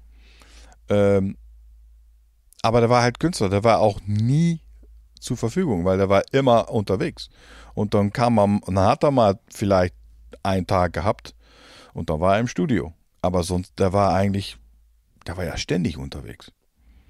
Und wenn es Fernsehsachen war, war ich dabei. Und wenn es Radiosachen war, war ich dabei. Aber wenn es ganz normale Auftritten waren, da waren es natürlich andere Leute, die mitgesungen und getanzt haben. Mhm. Der war, der war halt gerade in sein, seine, seine Explosion, seine Königsklasse und den hat man kaum im Studio gesehen, aber wenn er dann da war, dann war es, um ein Album oder ein Single zu machen. Mhm. Ähm, kannst du vielleicht noch was zu den, zu den anderen Künstlern sagen, die mit bei Booyah waren? Also, weiß ich nicht, zum Beispiel AK Swift. Wie war das? ich habe den nicht so richtig erlebt. Okay. Schon, Mhm. also wir haben, The Light habe ich ja sogar produziert. Aber ich habe den einfach nicht so richtig erlebt. Ich habe immer nur, ich fand den immer nur sehr laut. Okay. und hat immer was. Da, ist beispielsweise der, der immer sagt, wenn du was sagst, ja, das habe ich auch gemacht. So, aber es war immer sehr laut, aber ein absolutes Genie, ne? Also überkrank. Aber ich habe den nicht wirklich erlebt. Kann nicht so viel über ihn sagen. Und äh, Alex Prince? Ja, mit Alex bin ich immer noch sehr gut. Äh, unnormal, unnormal geile Sängerin und sehr herzlich und kann nur Gutes sagen. Mhm. Mit ihr war ich natürlich auch ständig unterwegs. Und äh, ja, das ist echt ein, das ist ein Freund fürs Leben. Wen gab es noch? Jonestown gab es noch? Genau, Johnstown. Ja, auch geile, geile Typen. Ski und Carlos, Carlos gar nicht mehr, Ski immer noch mit Fun Factory unterwegs jetzt. Hm. Das war, die waren auf jeden Fall sehr, sehr lustig. Da hat man echt sehr viel gelacht mit den beiden. Okay. Und äh, Ray Horton war auch noch da, oder? Genau. Ja. Ja. Aber da war ich schon fast weg. Okay, Wenn verstehe. Ray kam, war so, das war so mein, mein Crossfade sozusagen. Mhm. Da bin ich. Äh, das, hat, das war für mich auch geil, weil ich wusste, ah, okay. Für den Hooks brauchen die mich nicht mehr, dann kann ich jetzt auch abhauen. Okay, verstehe. Das hat mich auch geholfen, Mhm. sozusagen. Mhm. Mit Ray keine richtige Beziehung.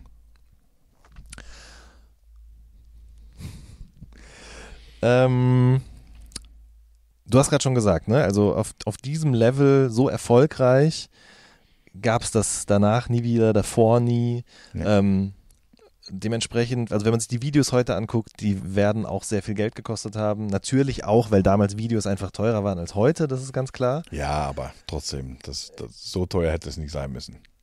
Ja, also waren die Ja, wirklich so teuer? Die waren übertrieben. Okay. Ich sag nur, when the rain begins to fall, Aha. war 750.000 Mark. Wow. Ja. Okay. Und äh, damals hatte ich noch nicht so viel Ahnung vom Geschäft und wusste nicht, dass ich das auch recoupen musste. Mhm. Sonst hätte ich wahrscheinlich gesagt, ey, lass es doch einfach hier in Hamburg drehen, bitte. Was soll das? ne? Das, das wäre jetzt nämlich die nächste Frage auch gewesen. Also von außen, wenn man sich so ein bisschen mit Musikgeschäft auskennt, äh, mit Shares und so weiter und so fort, dann wird man jetzt denken, dass ihr da auch alle richtig Asche gemacht habt. Oh, das haben wir schon. Ja, okay. Ja. okay. Das muss ich, ähm, muss ich denen geben. Es war zwar nicht immer relationell fair, aber es war auch nicht unbedingt unfair.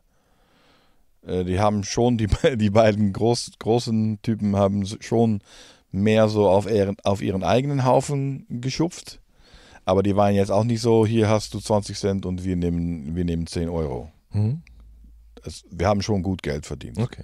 Aber es hätte natürlich eigentlich hätte man mehr. Aber ich sage mal ganz ehrlich, ich kann denen dafür jetzt die Schuld nicht geben, weil ich war ja selber dabei und äh, man kann jemand nur etwas äh, vorwerfen, wenn man denen auch gesagt hat, ich will das nicht. Wenn man aber das nicht gesagt hat und einfach mitmacht und dann hinterher sagt, das ist alles scheiße, das, das kannst du nicht bringen. So geht's auch nicht, ja. Ähm, ich glaube, also neben dem Sound war, glaube ich, auch das immer, also dieser Erfolg, dass man den Videos auch angesehen hat, dass sie viel Geld gekostet haben und so weiter. Das hat ja äh, Rappern, deutschsprachigen Rappern, war das sehr oft ein Dorn im Auge. Also äh, Tony ist ja sogar namentlich mal von Deichkind gedisst worden. Äh, ich habe auch mit Martin Stieber mal ein längeres Interview geführt, wo er eben auch dann tatsächlich direkt Buja genannt hat. Nicht als etwas, womit er ein Problem hatte, aber wo er gesagt hat, das war so ein bisschen das Feindbild. Das waren die Leute, die in den Charts waren, die erfolgreich waren damit. Ähm, hast du das mitbekommen damals? Klar, aber finde ich äh, bis heute, äh, oh, ich kann das Wort nicht finden, Hypokrit. Hm? Weil man kann nicht jemands Kultur äh, anwenden und dich dann umdrehen und sagen, äh, das passt nicht in unsere Kultur. Was ist das für ein Scheiß? Rap kommt nicht aus Deutschland. Also halt die Fresse. Entweder du bist Rapper und dann nimmst du jemand, du eignet sich eigentlich was an, ne? was auf, als Englisch so schön äh, Appropriation heißt. Wenn du dich was aneignest, kannst du nicht nachher sagen, das gehört nicht zu das, was ich mir angeeignet habe. Hm. Das finde ich total hypokrit. Und das habe ich bis heute an den Deutsch-Rap-Realness immer komplett gehasst. Und das finde ich auch total, total albern. Ähm, du solltest bei Buja auch ein Album machen, Fairy Tale. Ja, genau. Das Boah, ist aber nie Alter. rausgekommen. Vergessen. Ja, das ist nie rausgekommen, zum Glück. Aber also äh, die Real Ones, die harten Fans, die haben das zum Teil, das Album, oder? Du hast das mal Ja. irgendwann im, im äh, Euro-Rap-Forum, hast du das genau, mal zur Verfügung das, ja. gestellt. Ja. Ja, das, das dürfen von mir aus alle haben. Okay, aber es ist nicht rausgekommen, weil das genau da hätte rauskommen sollen, als du gegangen bist. Ich war ja schon weg, Okay. aber hatte noch, ich hatte schon einen Vertrag unterschrieben für einen Künstler-Deal bei Mhm. Universal. Mhm. Und in der Vertrag war natürlich Buja mit. Und ich war aber eigentlich schon weg, aber konnte natürlich diese vertragliche Bindung nicht einfach sagen, ja, das mache ich jetzt auch nicht. Mhm. Äh, deswegen haben wir auf jeden Fall noch ein Album produziert. Aber da, war- das war ohne Herz.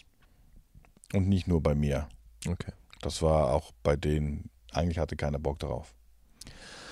Äh, du hast jetzt Universal gerade angesprochen. Irgendwann kam es ja eben auch zur Fusion von Booyah und Universal, beziehungsweise äh, Motor Music. Ähm, hast du dann oder habt ihr dann auch direkt mit Neffi zusammengearbeitet damals?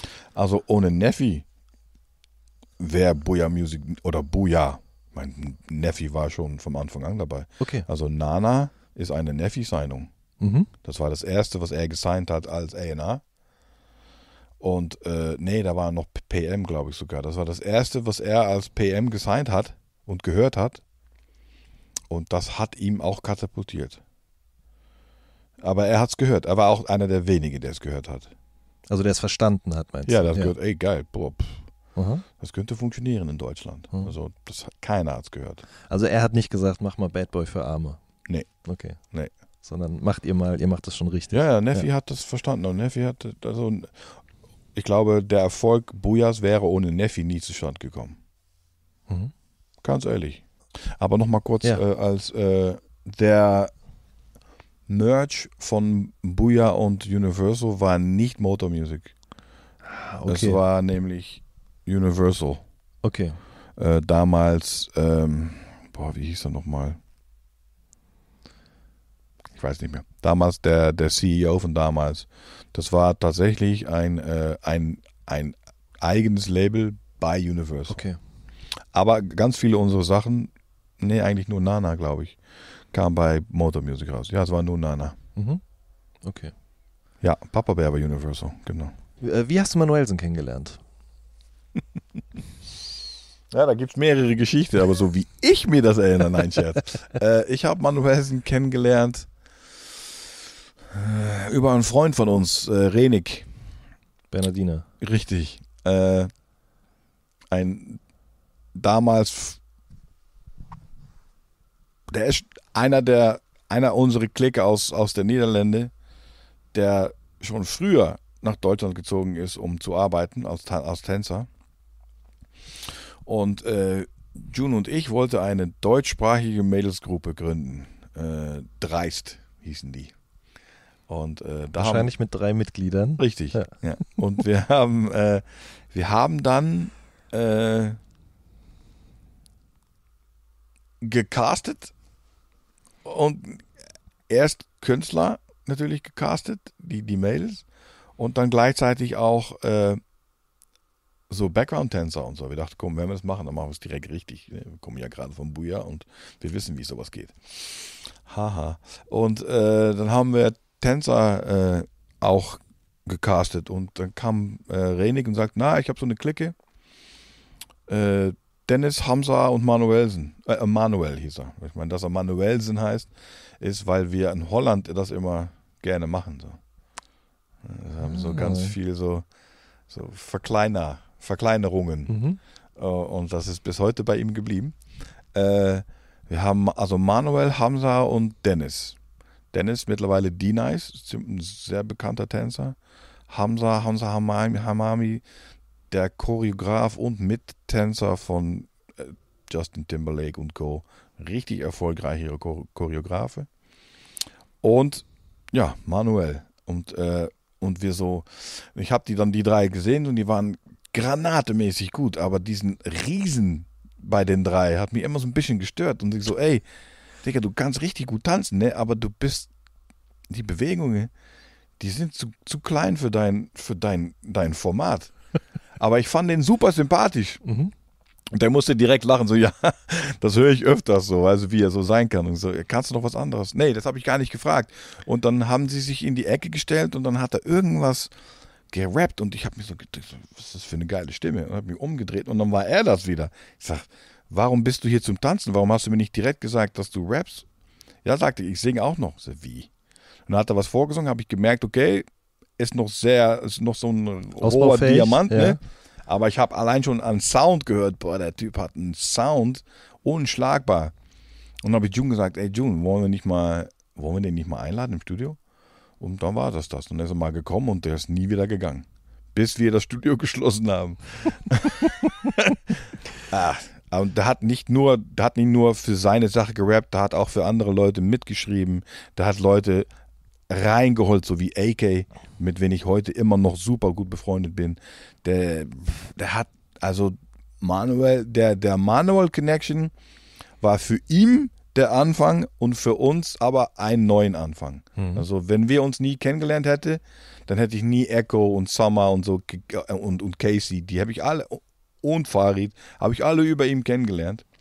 Und äh, das war für mich so wieder äh, der Weg zurück nach Deutschland, weil dann habe ich AK kennengelernt und der war dann gerade bei Overground und wurde dann gefragt für die Vocalproduktion vom ersten Album und habe dann so alle andere wieder kennengelernt, wie, wie Easy B, ähm, der jetzt äh, CEO von Alpha ist und aber auch Clubkind und alle, also egal. Also alles, was jetzt sozusagen wieder da in Deutschland passiert, ist eigentlich aus der neu geborene Connection über Manuel gekommen. Krass, okay. Ja. Hast du denn wirklich diesen Satz zu ihm gesagt, der, den er auch in diesem einen Song sagt? Boy, you Got got heat? Ja, klar. Ja. Ja. Habe ich gerade im Vorgespräch schon gesagt. Das war so das erste Mal, dass ich deinen Namen auf dem Song gehört habe. Ja. Ähm, er hat neulich ein Interview auch nochmal gegeben, also vor einer Woche oder so, glaube ich. Ich weiß nicht, ob du es gesehen hast, Ja, aber da hab erzählt ich. er ja so ein bisschen auch noch darüber und ähm, erzählte auch, wie er dann angefangen hat, dir und June und Nana so über die Schulter zu schauen. Also er war einfach dabei, hat immer geguckt und dadurch halt gelernt. Ne? Richtig. Okay. Das war ganz cool, weil dann kam Nana zu uns nach Holland für sein neues Projekt, neue Songs zu machen. Und da haben wir Manuel gerade ein paar Monate im Studio. Und das war für ihn natürlich, boah, Nana und auch Ganea, das war natürlich, das war irgendeine Connection da. Mhm. Und das hat auch direkt gemerkt, die haben sich direkt verstanden. Und das war für, für Manuel, glaube ich, auch.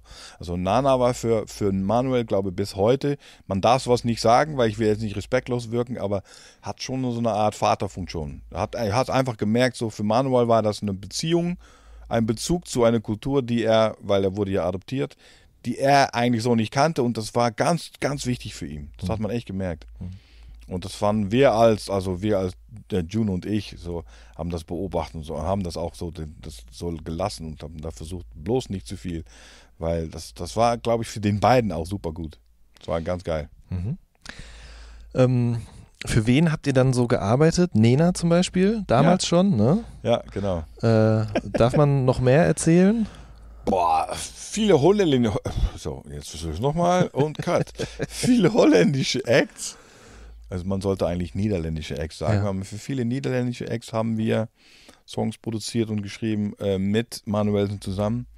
Äh, für Manuelsen haben wir auch, auch Alben gemacht und äh, die wurden nie erfolgreich, weil damals hat er noch sehr viel Englisch oder Deutsch und Englisch gemacht, was ich bis heute feiere. Total, ja. Äh, ja, was haben wir denn noch gemacht? Overground, äh, ja, Echo. Aber da war June schon weg.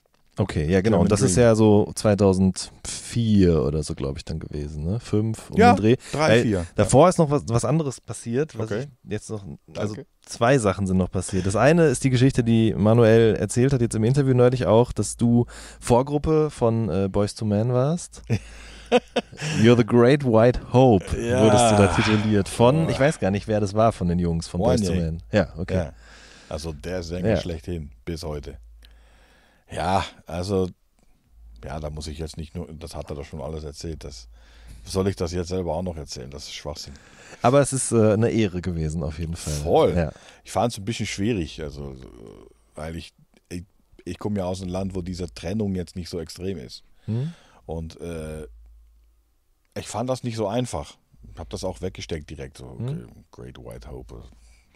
Ja, es, Bin ja gar nicht kein Vorfechter von irgendeiner Gruppe, so, weißt du. Deswegen, um dann so als der Spitze eine Gruppe äh, genannt zu werden, fand ich irgendwie ein bisschen, Mhm. fand ich nicht einfach. Fand es schon cool, aber ich fand es nicht einfach. Okay, verstehe. Ähm, eine andere Sache noch, 2001, Girl You Know It's True mit Oli P. ähm, Geil, Alter. Du hast ja echt alles. natürlich, natürlich. nice. Ähm, genau, das war ein Song, den ihr zusammen aufgenommen habt, wo du auch als Feature-Gast dabei bist, auch im Video. Ja, Ähm, genau. Wie kam das zustande? Also Oli P., quasi der deutsche Marky Mark. Ja. Ja. Also, da, da merkt man, dass es nicht alles nur geil und Kunst sein muss, äh, dass ich auch eine Beziehung zu Menschen sehr wichtig finde. Und bei Olli war schon immer eine sehr große Freundschaft. Äh, wir waren noch nicht richtig Freunde, aber wir kannten uns. Aber er hatte diesen Wunsch und das fand ich so speziell. Der, der A&R-Manager damals ähm, rief Daisy an und sagt, ey, äh, du, ich mache hier jetzt, ich bin jetzt A&R für, für neue Olli-Album und äh, der will jetzt You Know It's True aufnehmen, aber der will, der will es nur mit Jan machen. Und das fand ich so cool, dass jemand so spezifisch das will. Dann habe ich gesagt, okay, dann muss ich das erstmal hören. Ich muss ehrlich sagen, ich fand der Version nicht so geil, aber ich fand das Original auch nie geil. Deswegen war es auch egal jetzt. Das hat mir, diese Nummer hat mir nie gekitzelt. Aber ich fand diese Zusammenarbeit mit ihm, fand ich total interessant. Und das habe ich dann gemacht, weil ich unbedingt mal mit ihm dann was machen wollte. Und das war auch bis heute einer meiner schönsten Erfahrungen, weil wir sind dann, wir waren vier Tage auf Malle und haben gelacht und getrunken und, und äh, meine Frau war da, nee, meine Frau war damals nicht dabei noch, äh, nicht auf der Videodreh, Dreh.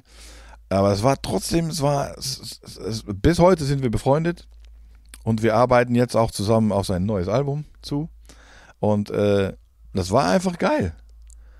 Und das für mich kann das, weißt du, deswegen, ähm, manche Leute fragen, ja, wie kannst du sowas machen? Und so, ja, erstens, was meinst du damit?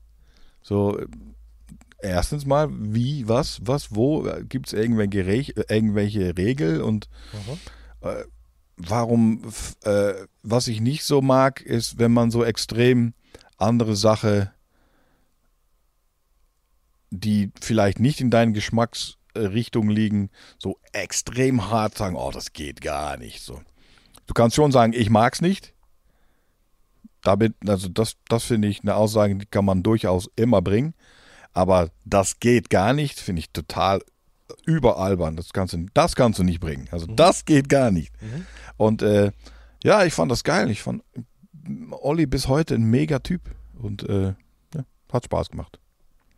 Das war für mich früher auch immer ein Problem. Also ich war früh Deutsch-Rap-Fan, aber mochte auch immer die Sachen von Booyah zum Beispiel oder auch Girl You Know It's True. Und Ja. das konnte man, aber konnte ich von meinen Freunden nie gut argumentieren, weil da Ja. hieß es immer, das geht halt nicht. Ne? Ja, und das ist schade. ja, auf jeden Fall. Und da muss man aufpassen, das merkt man Musik und Sport äh, bei solche Äußerungen grenzt das schon sehr schnell an Ausgrenzungen, Mhm. wenn nicht sogar Fashionismus. Das ist gefährlich, das finde ich, das kann man nicht bringen. Man kann schon, wie gesagt, man kann gerne sagen, boah, ich mag das überhaupt nicht. Finde ich mega legitim und höre ich auch gerne. Aber komm mir nicht mit, das geht gar nicht. Oder was hast du denn an? Oder so. Hallo? Wer bist du denn so? Weißt du? Was soll das? Und das finde ich äh, durchaus äh, sehr geil, auch zu hören, dass du äh, es auf jeden Fall querbeet, weil, hey, letztendlich ist es Musik, weißt du, und entweder du magst es oder du magst es nicht. Und es muss keinen Grund haben. Ich sehe manchmal Bilder und denke, boah, das ist ja geil. Und nicht, weil es irgendein Bild ist von jemandem, bla bla bla, oder weil er so, sein Vater hat ihm dies und das und seine Mutter und deswegen hat er dieses Bild. Ist mir scheißegal. Mag ich es oder mag ich es nicht? So, die ganze Geschichte drumherum ist so sekundär, sek sekundär. Oder? ja, richtig. Finde ich. Also, egal. Mm, Du hast gerade schon AK angesprochen, Ja. ähm, den du kennengelernt hast, ähm, als er Teil von Overground war. Genau. Weil du eben angefragt worden bist, für die Jungs zu produzieren oder mit ihnen Also zu ich schreiben. kannte ihn schon vorher. Ja. Es ist eigentlich so, nochmal ganz schnell zurück in die Zeit, dass äh, AK schon früh mit Manuelsen und Ramsi Aliani Mhm. sehr oft ins Studio kam. Und da waren die noch sehr, sehr jung. Und da war AK, AK, AK, AK sehr äh, übereifrig und wollte immer gerne zeigen, was er konnte. Und ich fand den damals schon beeindruckend gut. Er hat eine ganz geile Stimme und kann richtig gut singen. Aber ich hatte zu viel zu tun und ich konnte mich nicht so richtig darauf fokussieren noch und ich fand ihn auch noch ein bisschen zu jung. Und dann äh, auf einmal äh, ruft mir Manuel an und sagt, ey, Digga, der ist in der Band. Ich sag, ja, welcher, was der Band? Natürlich nicht mitbekommen, weil bei uns gab es natürlich auch Popstars und das fand ich, zu, das fand ich gar nicht gut. ich fand es gar nicht gut, persönlich. Ne? Mhm. Ähm, und äh, deswegen habe ich das auch nicht geguckt. Äh, und ja, sagt er hier, die Popstars. So, oh, cool. So, äh, dann hat er jetzt ein Haus gefunden. Habe ich dann ganz, ganz dumm gesagt.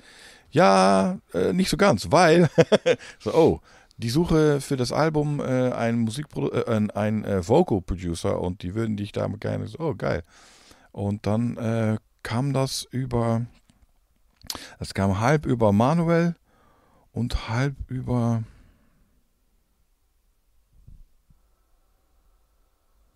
erinnere ich mich nicht mehr so ganz. Aber äh, und dann habe ich die Vocal Produktion für äh, für Overground übernommen und das war irgendwie auch äh, das war ganz geil. Ich fand das musikalisch auch sehr spannend, weil das war dann mit Mark Tabak von äh, wie hieß das nochmal? Ähm, Triple M, genau. Mark Dollar, Mark Tabak und Marek bla bla bla. Die haben so The Boys und so gemacht. Ja. Ne? Und äh, Mark Tabak, sehr, sehr talentierter Pro Producer. ähm, Easy B und ich haben das ganze Album dann produziert und äh, am Anfang war es nur für Vocal-Produktion und irgendwann haben wir einfach das ganze Ding, da haben wir gemerkt, oh, das funzt und dann haben wir einfach gesagt, komm, wir machen das ganze Ding zusammen. Äh, ja, und dann kam, Ein neues Nana-Album. Auch 2004. ja, genau, Nämlich All Doors in Flight Number 7. genau. Krass. Äh, wo auch Manuel wieder drauf äh, Ja. gefeatured ist und ihr beiden habt das, also du hast es mit Nana zusammen gemacht. Oder Ja. war noch jemand involviert? Nee, da waren noch andere Leute dabei. Okay. Also ich, ich habe ein paar Titel, ich habe nicht alle Titel gemacht. Es war mehr so Beats und, und mal Raps aufnehmen und so. Es war jetzt nicht so extrem. Hm. Das war auch in der Zeit, wo ich das erste Mal angefangen habe, mit Laptop zu produzieren. Das hörst du auch.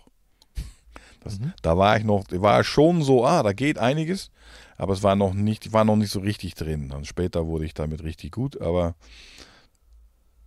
wann war das? 2004? 2004. Ja, genau. Das ist, der, das ist die Periode, wo ich angefangen habe, nur noch mit Laptop zu arbeiten.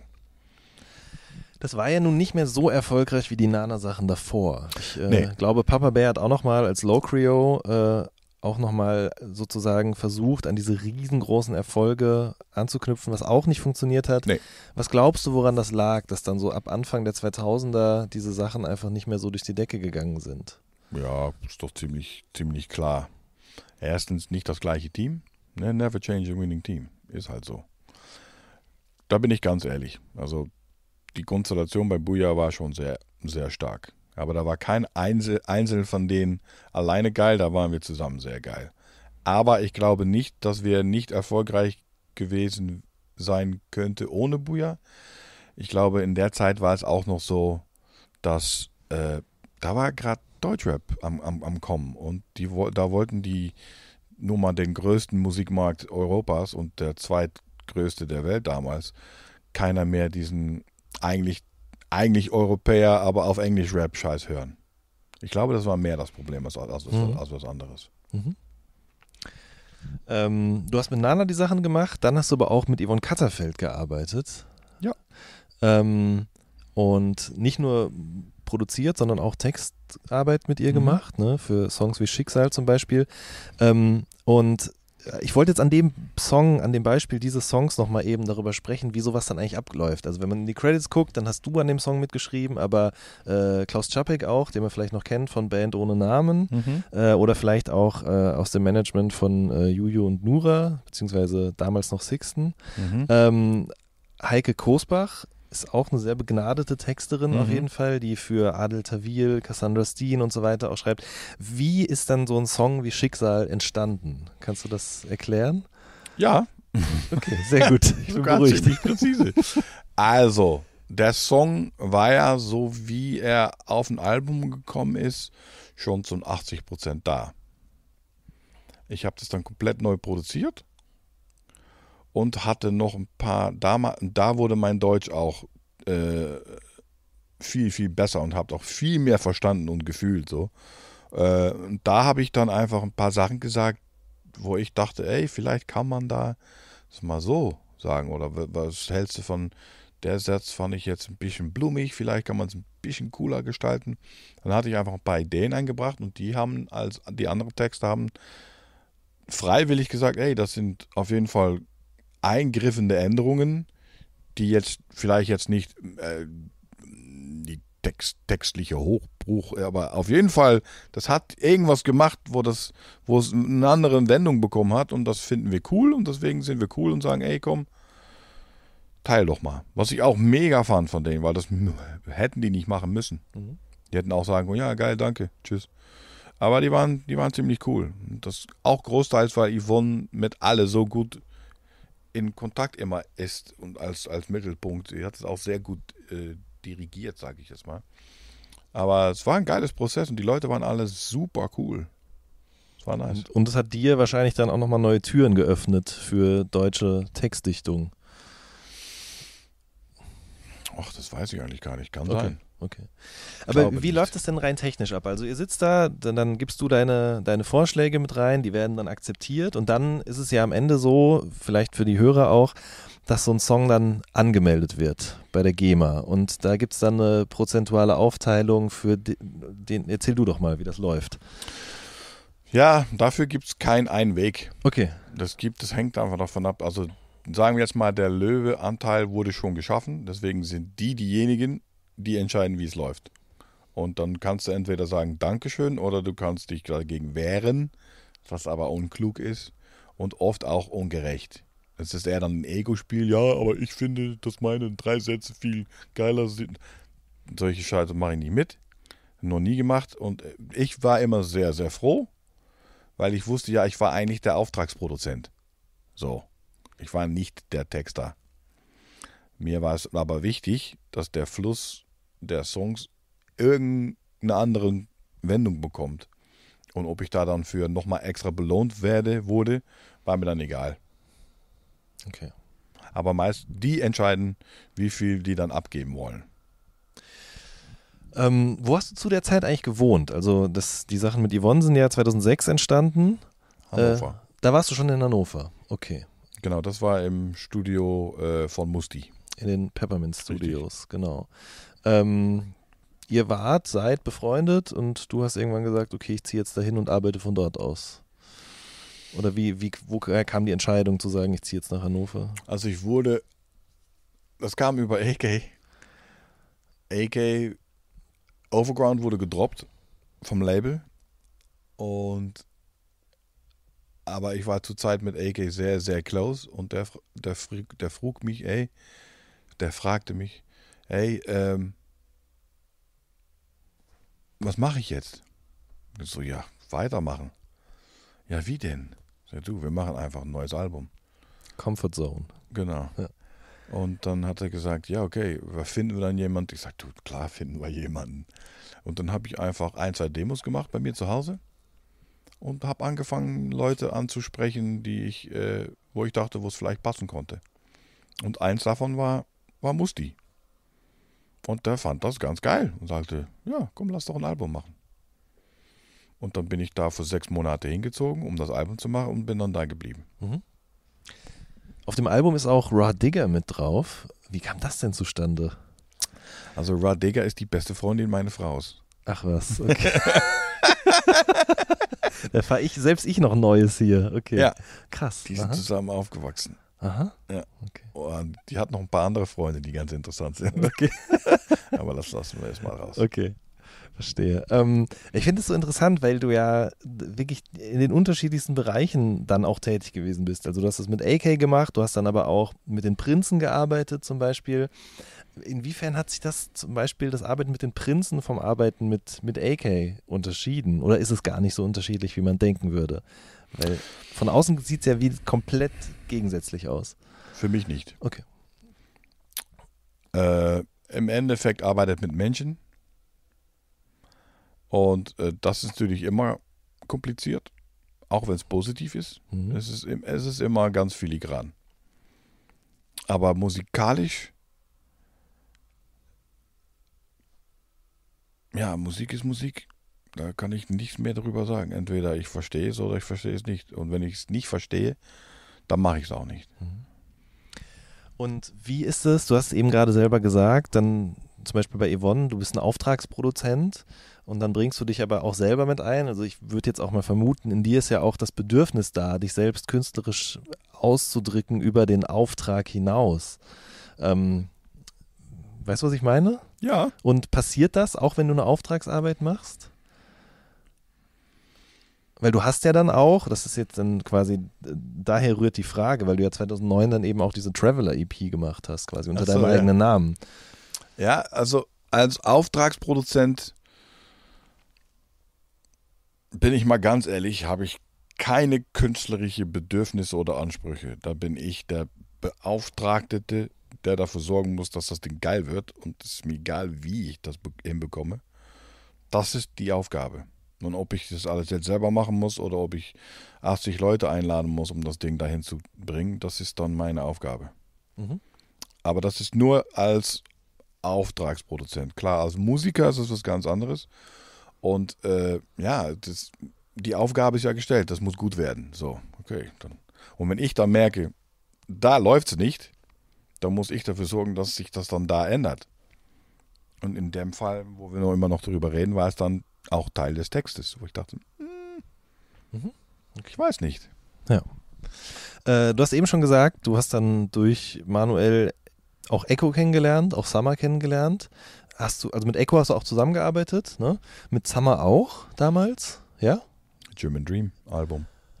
Ah, guck mal, das, das habe ich tatsächlich gar nicht Und mehr auf ich der Uhr bin. High Homie zum Beispiel. Mhm. Mhm. Oder äh, ich habe ja auch die Press Play mit D12 produziert. Da, das habe ich tatsächlich noch auf dem Zettel gehabt, Okay, ja. Wie, ja. Kam, wie kam das denn zustande? Und meine Frau wieder. Ach was, Ja. okay, also das ist auch ein jemand aus ihrem Bekanntenkreis. Ja, also der Connection kam über eine Freund, ein, einen Freund von, von sie und mir aus Amsterdam. Aber die, die tatsächliche Arbeitsconnection kam über sie, weil sie einfach sehr gut ist in, in so Leute irgendwo ansprechen und irgendwelche Sachen irgendwo hinzuziehen. Das kann sie einfach extrem gut. Und die hat einfach dafür gesorgt, dass die wenn die eh nach Europa kamen für Tour, sagen, ey komm, ihr seid doch eh da, kann ich euch nochmal 20.000 Euro extra verdienen lassen, wenn ihr mal mit diesen Typen hier dies, das macht. Und die so, okay, cool, Mhm. schick mal Playback. Mhm. Und dann kamen die hier, waren die vorbereitet und, und los ging's. Die, die ist da halt sehr gut drin, um äh, Situationen und Optionen zu sehen in irgendwas. Ja, das ist ein Talent auf jeden Voll. Voll. Einer ihre wenige. Mhm. Nee, ein, nee, eine ihre viele Talente. So, so wollte ich sagen. Ja. Ähm, kam dann über sie auch die Connection zu Snoop Dogg? Weil ich, ich finde nichts dazu. Also wenn man, wenn man dich googelt und sucht, dann findet man eben, dass du mit ihm gearbeitet hast oder mit Michael Bublé auch zum Beispiel. Ähm, aber wenn ich dann bei Discogs oder so schaue, habe ich da nichts zu gefunden. Nee, das ist tatsächlich, äh, manche Sachen sind sehr, sehr versteckt. Okay. Und das finde ich auch gut so. Ja. Äh, aber mit Snoop Dogg ist es total, total lustige Geschichte. Eigentlich kommt der Snoop Dogg Connection über zwei Wege. Einmal Battlecat, ein guter Freund von mir, sein DJ. Und Coolio. Dazu habe ich auch nichts gefunden. Genau. Ja. Coolio und Snoop haben mal für ein italienisches Label einen Song zusammen gemacht. Mhm. Der hieß Gangster Walking. Und äh, dieser Song wurde von mir produziert. Es gab mal einen Beat, da haben die was drauf aufgenommen. Das fand keiner geil. Dann kam über einen anderen Freund und Battlecat die Connection zu mir. Habe ich ein neues Playback gemacht, habe es hingeschickt, fanden die geil, waren die in Europa, haben es aufgenommen. Das war's. Okay. Mhm. Sehr unspektakulär, sorry. Aber wir sind bis heute ziemlich cool. Aha. Also, Schön. Äh, nicht ganz so unspektakulär ist dann aber die Zusammenarbeit mit Sammy, die ja wirklich äh, auch über mehrere Alben, mehrere aber du Jahre. vergisst Outcast. Warum ist Outcast nicht im Gespräch?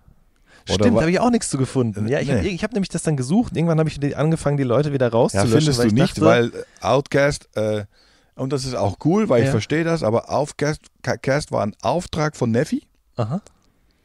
um für Europa zwei Songs so zu machen, dass die hier auch funktionieren. Also Outcast für Arme. Ja, nee, Neffi Nein, war nicht so. nein, nein. Nee, es ist einfach, damit es, sagen wir mal ernsthaft, ein bisschen mehr klang wie Buja Mhm. und dann vielleicht hier auch besser funktionieren konnte, wo, wo Neffi sehr gut ist, weil Mhm. zum Beispiel äh, diese Sängerin, äh, diese Selbstmordsängerin, wie heißt? Lana Del Rey, diese Summer Madness, die Version, der, der Welthit Ja. ist Neffi. Das ist, war auch Neffi, Ja. genau, das vergessen die Leute. Da ist er gerne. echt gut drin. Ja. Und äh, das Ding ist, und die Idee war geil.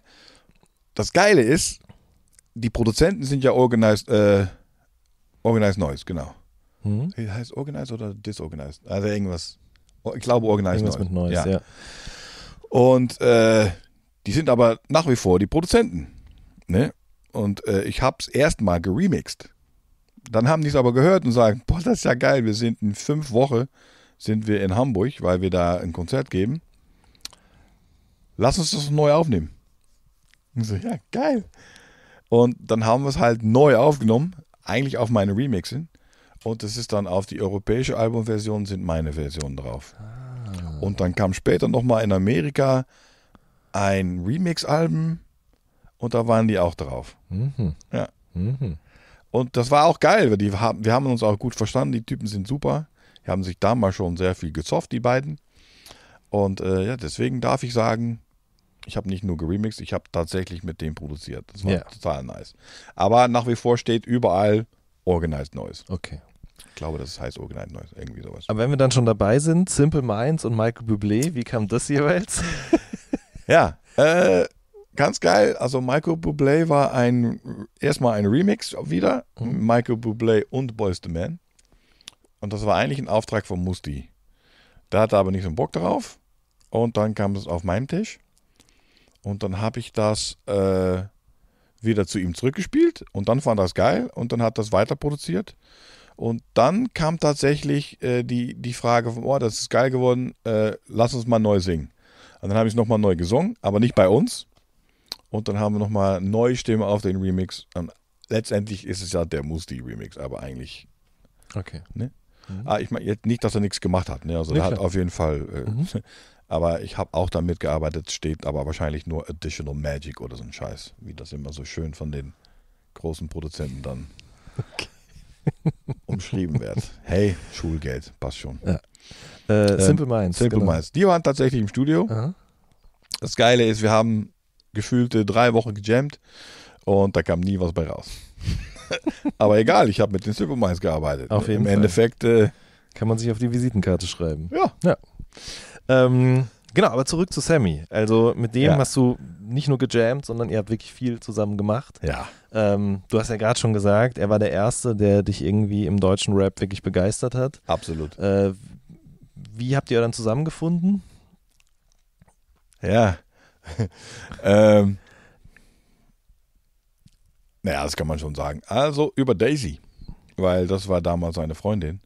Und ich hatte gerade Sterbfall meiner Mutter hinter mir in 2010. Und äh, Daisy hat uns eingeladen, nicht um meine Familie, um Urlaub zu machen auf Ibiza. Sie sagt, wir gehen eh drei Wochen hin, komm doch auch eine Woche. Und ich so, ah, geil, das kann ich jetzt, glaube ich, ganz gut gebrauchen. Sie sagt, wir haben hier ein Häuschen gemietet, braucht ihr nichts kümmern, Reise hin, bisschen mit Essen mitbezahlen und cool. So, ey, geil. Wir hingeflogen. Das war super wichtig, weil das war wirklich drei Wochen her oder so. Und das war ganz nice und es hat mich sehr, sehr viel geholfen als Mensch. Und dann auf einmal taucht Sammy auf. Und ich so, äh? So, ich hatte es nicht erwartet. Ich wusste schon, dass die so irgendwie am Gucken waren, aber dass es schon so ernst war. Und dann auf einmal war er da und dann hat er mir mal so ein paar Sachen vorgespielt von seinem neuen Album. Äh, Schwarz-Weiß. Und äh, das war alles mit Band.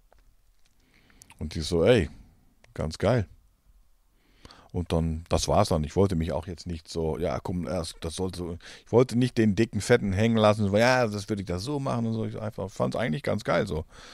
Es war zwar für mich nicht so ein Sammy-Sound oder so, aber es war auch jetzt, es war jetzt auf jeden Fall geil so. Und ähm, dann auf einmal rief Daisy an, ja, äh, Sammy würde es, glaube ich, begrüßen, wenn du mal ins neue Studio in Brakel mal vielleicht ein paar Sachen programmieren oder ein paar Sachen einspielen kannst für das neue Album. So, oh, gerne.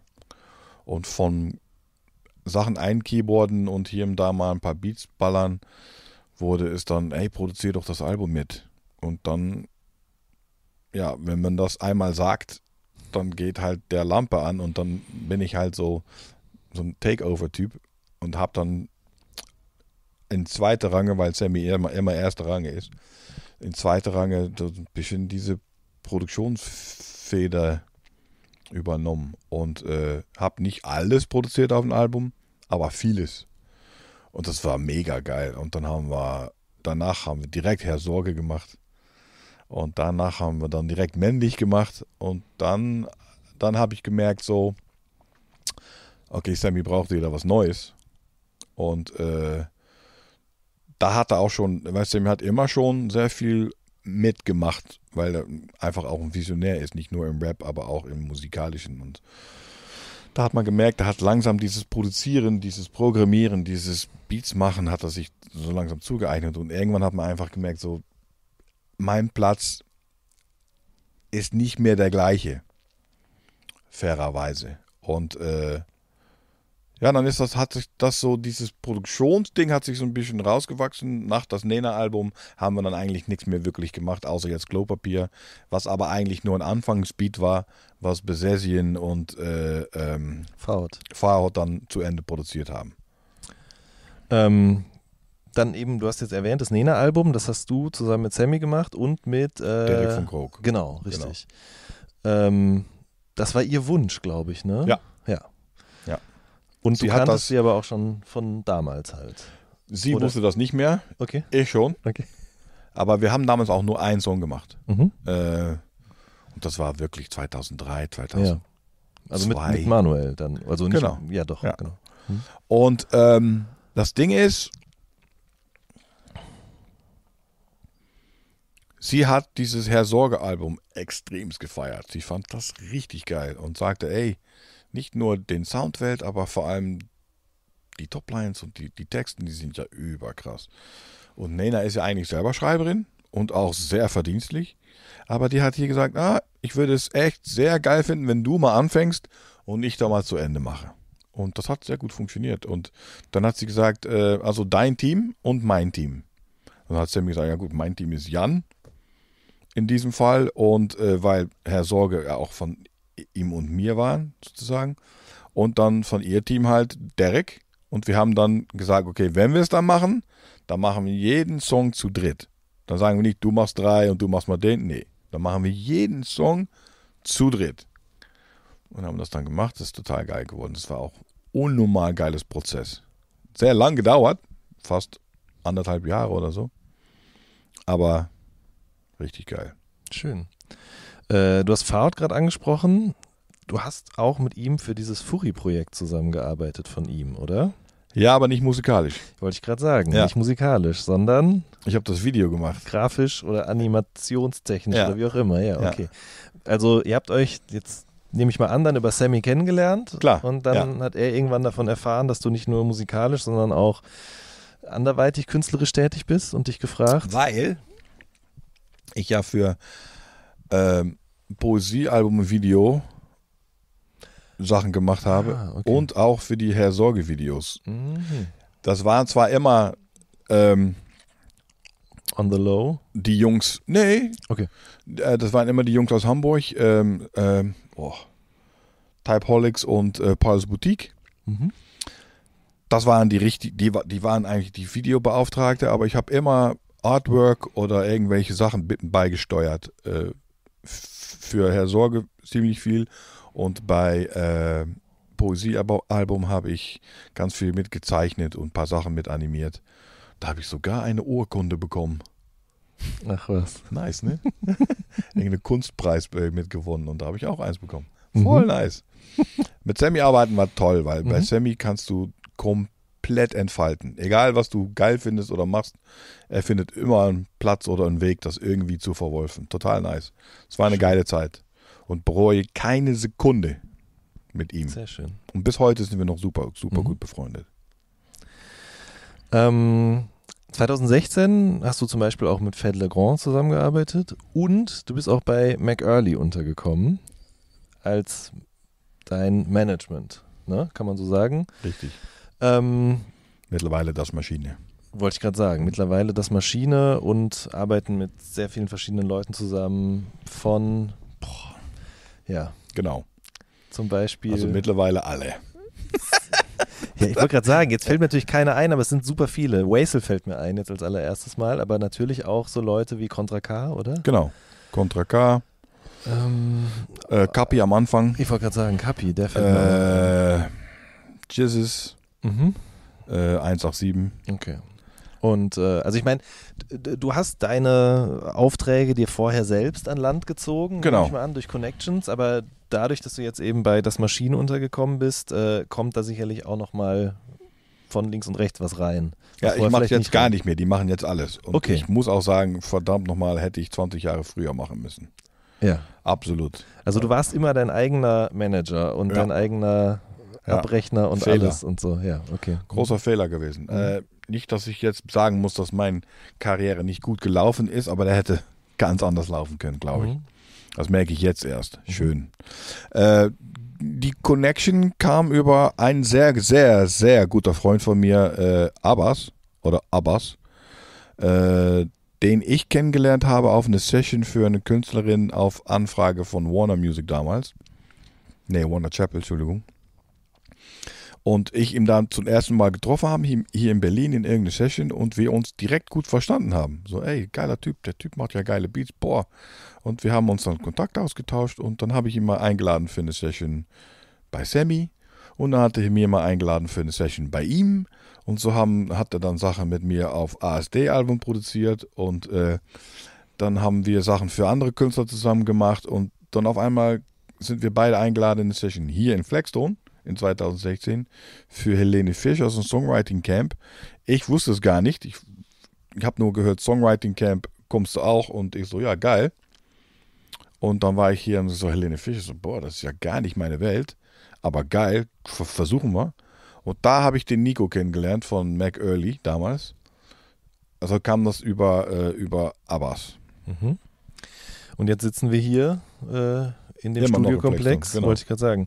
Ähm, es gibt auch Fotos von, von euch beiden, wo aber Curly auch noch mit drauf ist zum Beispiel. Ja. Äh, Curly, den kennen viele Hörer sicherlich eben auch einfach als klassischen Rapper, aber er ist eben auch Songwriter Oh und ja, äh, ihr ein. arbeitet zusammen, nehme Ja, ich an. sehr ja? viel. Okay.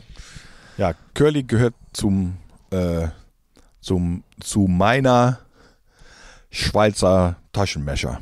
Messer. Mhm. Also das ist auf jeden Fall ein Tool, den man unbedingt braucht. Und Tool jetzt nicht im negativen Sinn, so du bist ein Tool, aber der Typ ist halt auch, ey, das der ist so krass.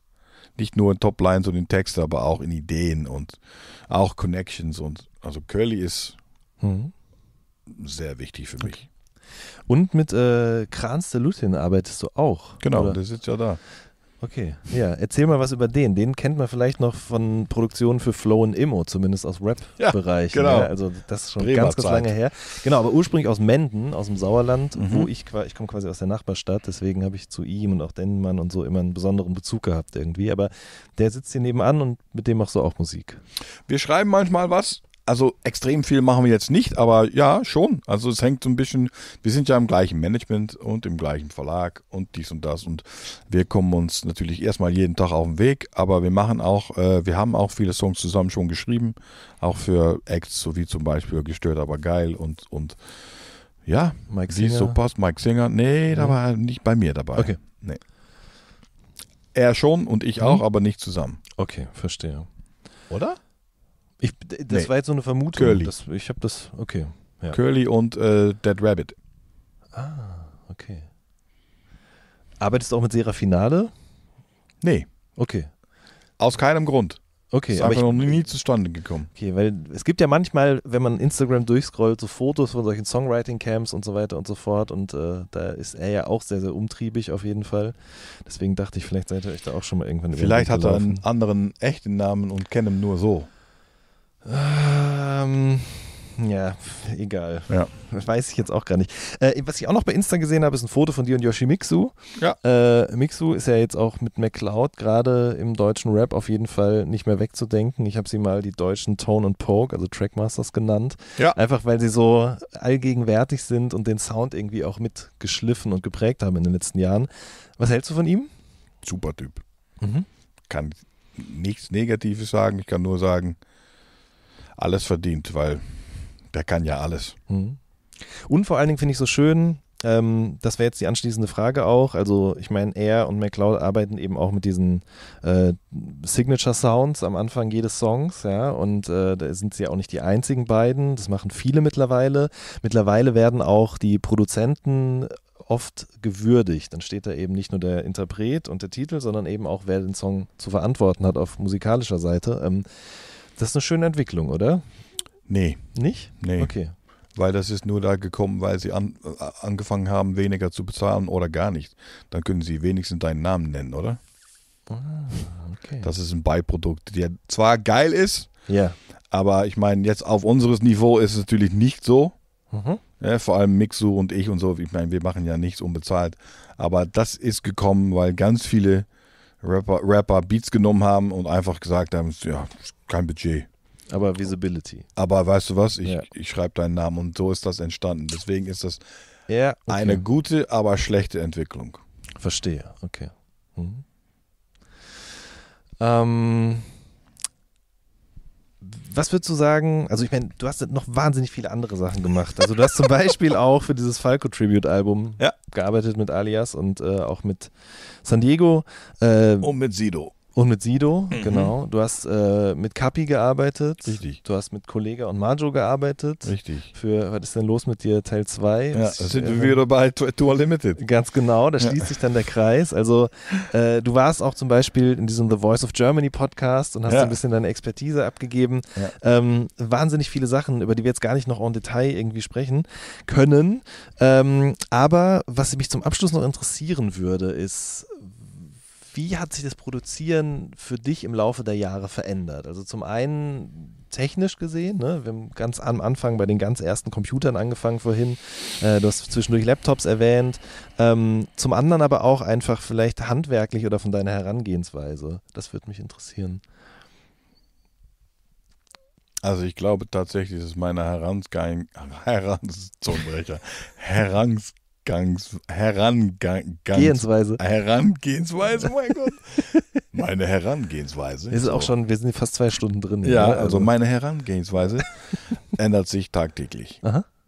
Äh, ich habe jetzt auch seit drei Monaten einen, einen neuen DAW. Mhm.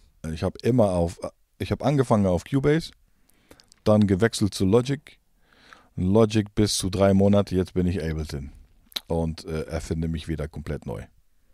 Also auch einfach, um andere Reize zu haben, anders darauf reagieren zu können. Äh, ja, ja. neue Inspiration, Ja. aber auch weil, und das würden jetzt ganz viele Leute mich komplett übel nehmen, aber Ableton kann einfach Sachen, die man heutzutage braucht für moderne Musik, die Logic nicht kann. Nicht, dass du es nicht da machen kannst, aber mit extrem viele Umwege. Und äh, ja, also für mich, da bin ich ab- absolut unloyal. Wenn solange es das ist, was für mich funktioniert, dann bin Mhm. ich super froh. Wenn ich merke so, hey, das ist doch viel geiler, dann tschüss. Okay. Und dann abschließende Frage noch. Wir haben jetzt sehr viel über deine Musik gesprochen oder das, was du eben gemacht hast im Laufe der letzten äh, fast 30 Jahre. Was würdest du sagen? Gibt es Songs, vor denen du den Hut ziehst, weil du sagst, die sind auf allen Ebenen einfach brillant, die sind gut geschrieben, die sind sehr gut produziert, die haben guten Oh ja. Klang, gute Performance. Was gibt es da so? Vielleicht, wenn du dich auf drei beschränken müsstest. Der ganze Zeit oder jetzt gerade? Wie du magst. Da bin, das bleibt dir überlassen. Digga, das ist die schwierigste Frage, die du mich jemals gestellt hast. äh, hey, es gibt so viel extrem Gutes, aber persönlich jetzt, Mhm. das, was ich höre, das hört ja kein Schwein. Es gibt jetzt einen Künstler, von dem ziehe ich zehn Hüte. Mhm. Äh, und wahrscheinlich auch die einzige zehn, die ihm hören. Äh, das ist Anamoli, das ist so ein, so ein Kanadier. Der macht irgendeinen Funk, Fusion, Jazz, extrem modern. Das ist unnormal gut. Das ist, das, das finde ich unglaublich, unglaublich geil, weil es mal was Neues ist. Ähm, in, im, Im gängige, so was so läuft und, und, und geht, muss ich sagen, ähm, es wird jetzt langsam wieder interessant. Ich habe die letzten drei Jahre mich extrem gelangweilt, weil alles gleich klingt und immer die gleiche Snare und immer den gleichen Ablauf und muss nicht sein, sag ich jetzt mal. Aber jetzt wird es wieder, jetzt macht es gerade wieder richtig Spaß, so die, die, die etwas neueren Sachen, die gerade kommen, die finde ich total spannend. Sehr gut. Aber ich kann mir nicht auf drei begrenzen. Das Mhm. kriege ich nicht hin. Okay. Jan, ich danke dir sehr für deine Zeit. Es war unglaublich spannend. Für Ja, dich, glaube ich, auch. Voll. Zwischendrin. Ja, absolut. Also vom Anfang an ganz viele Sachen gehört, die ich schon wieder vergessen hatte. Ich fand es sehr schön, dass du äh, dir die Zeit genommen hast, mit, dir darüber, mit mir darüber zu sprechen, weil ich das wirklich, also ich finde es eine sehr interessante, spannende Karriere, die du da bis Danke. jetzt hingelegt hast. Und äh, ich wünsche dir alles Gute. Danke, Jan, ich dir auch. Und vielleicht sehen wir in 30 Jahren nochmal.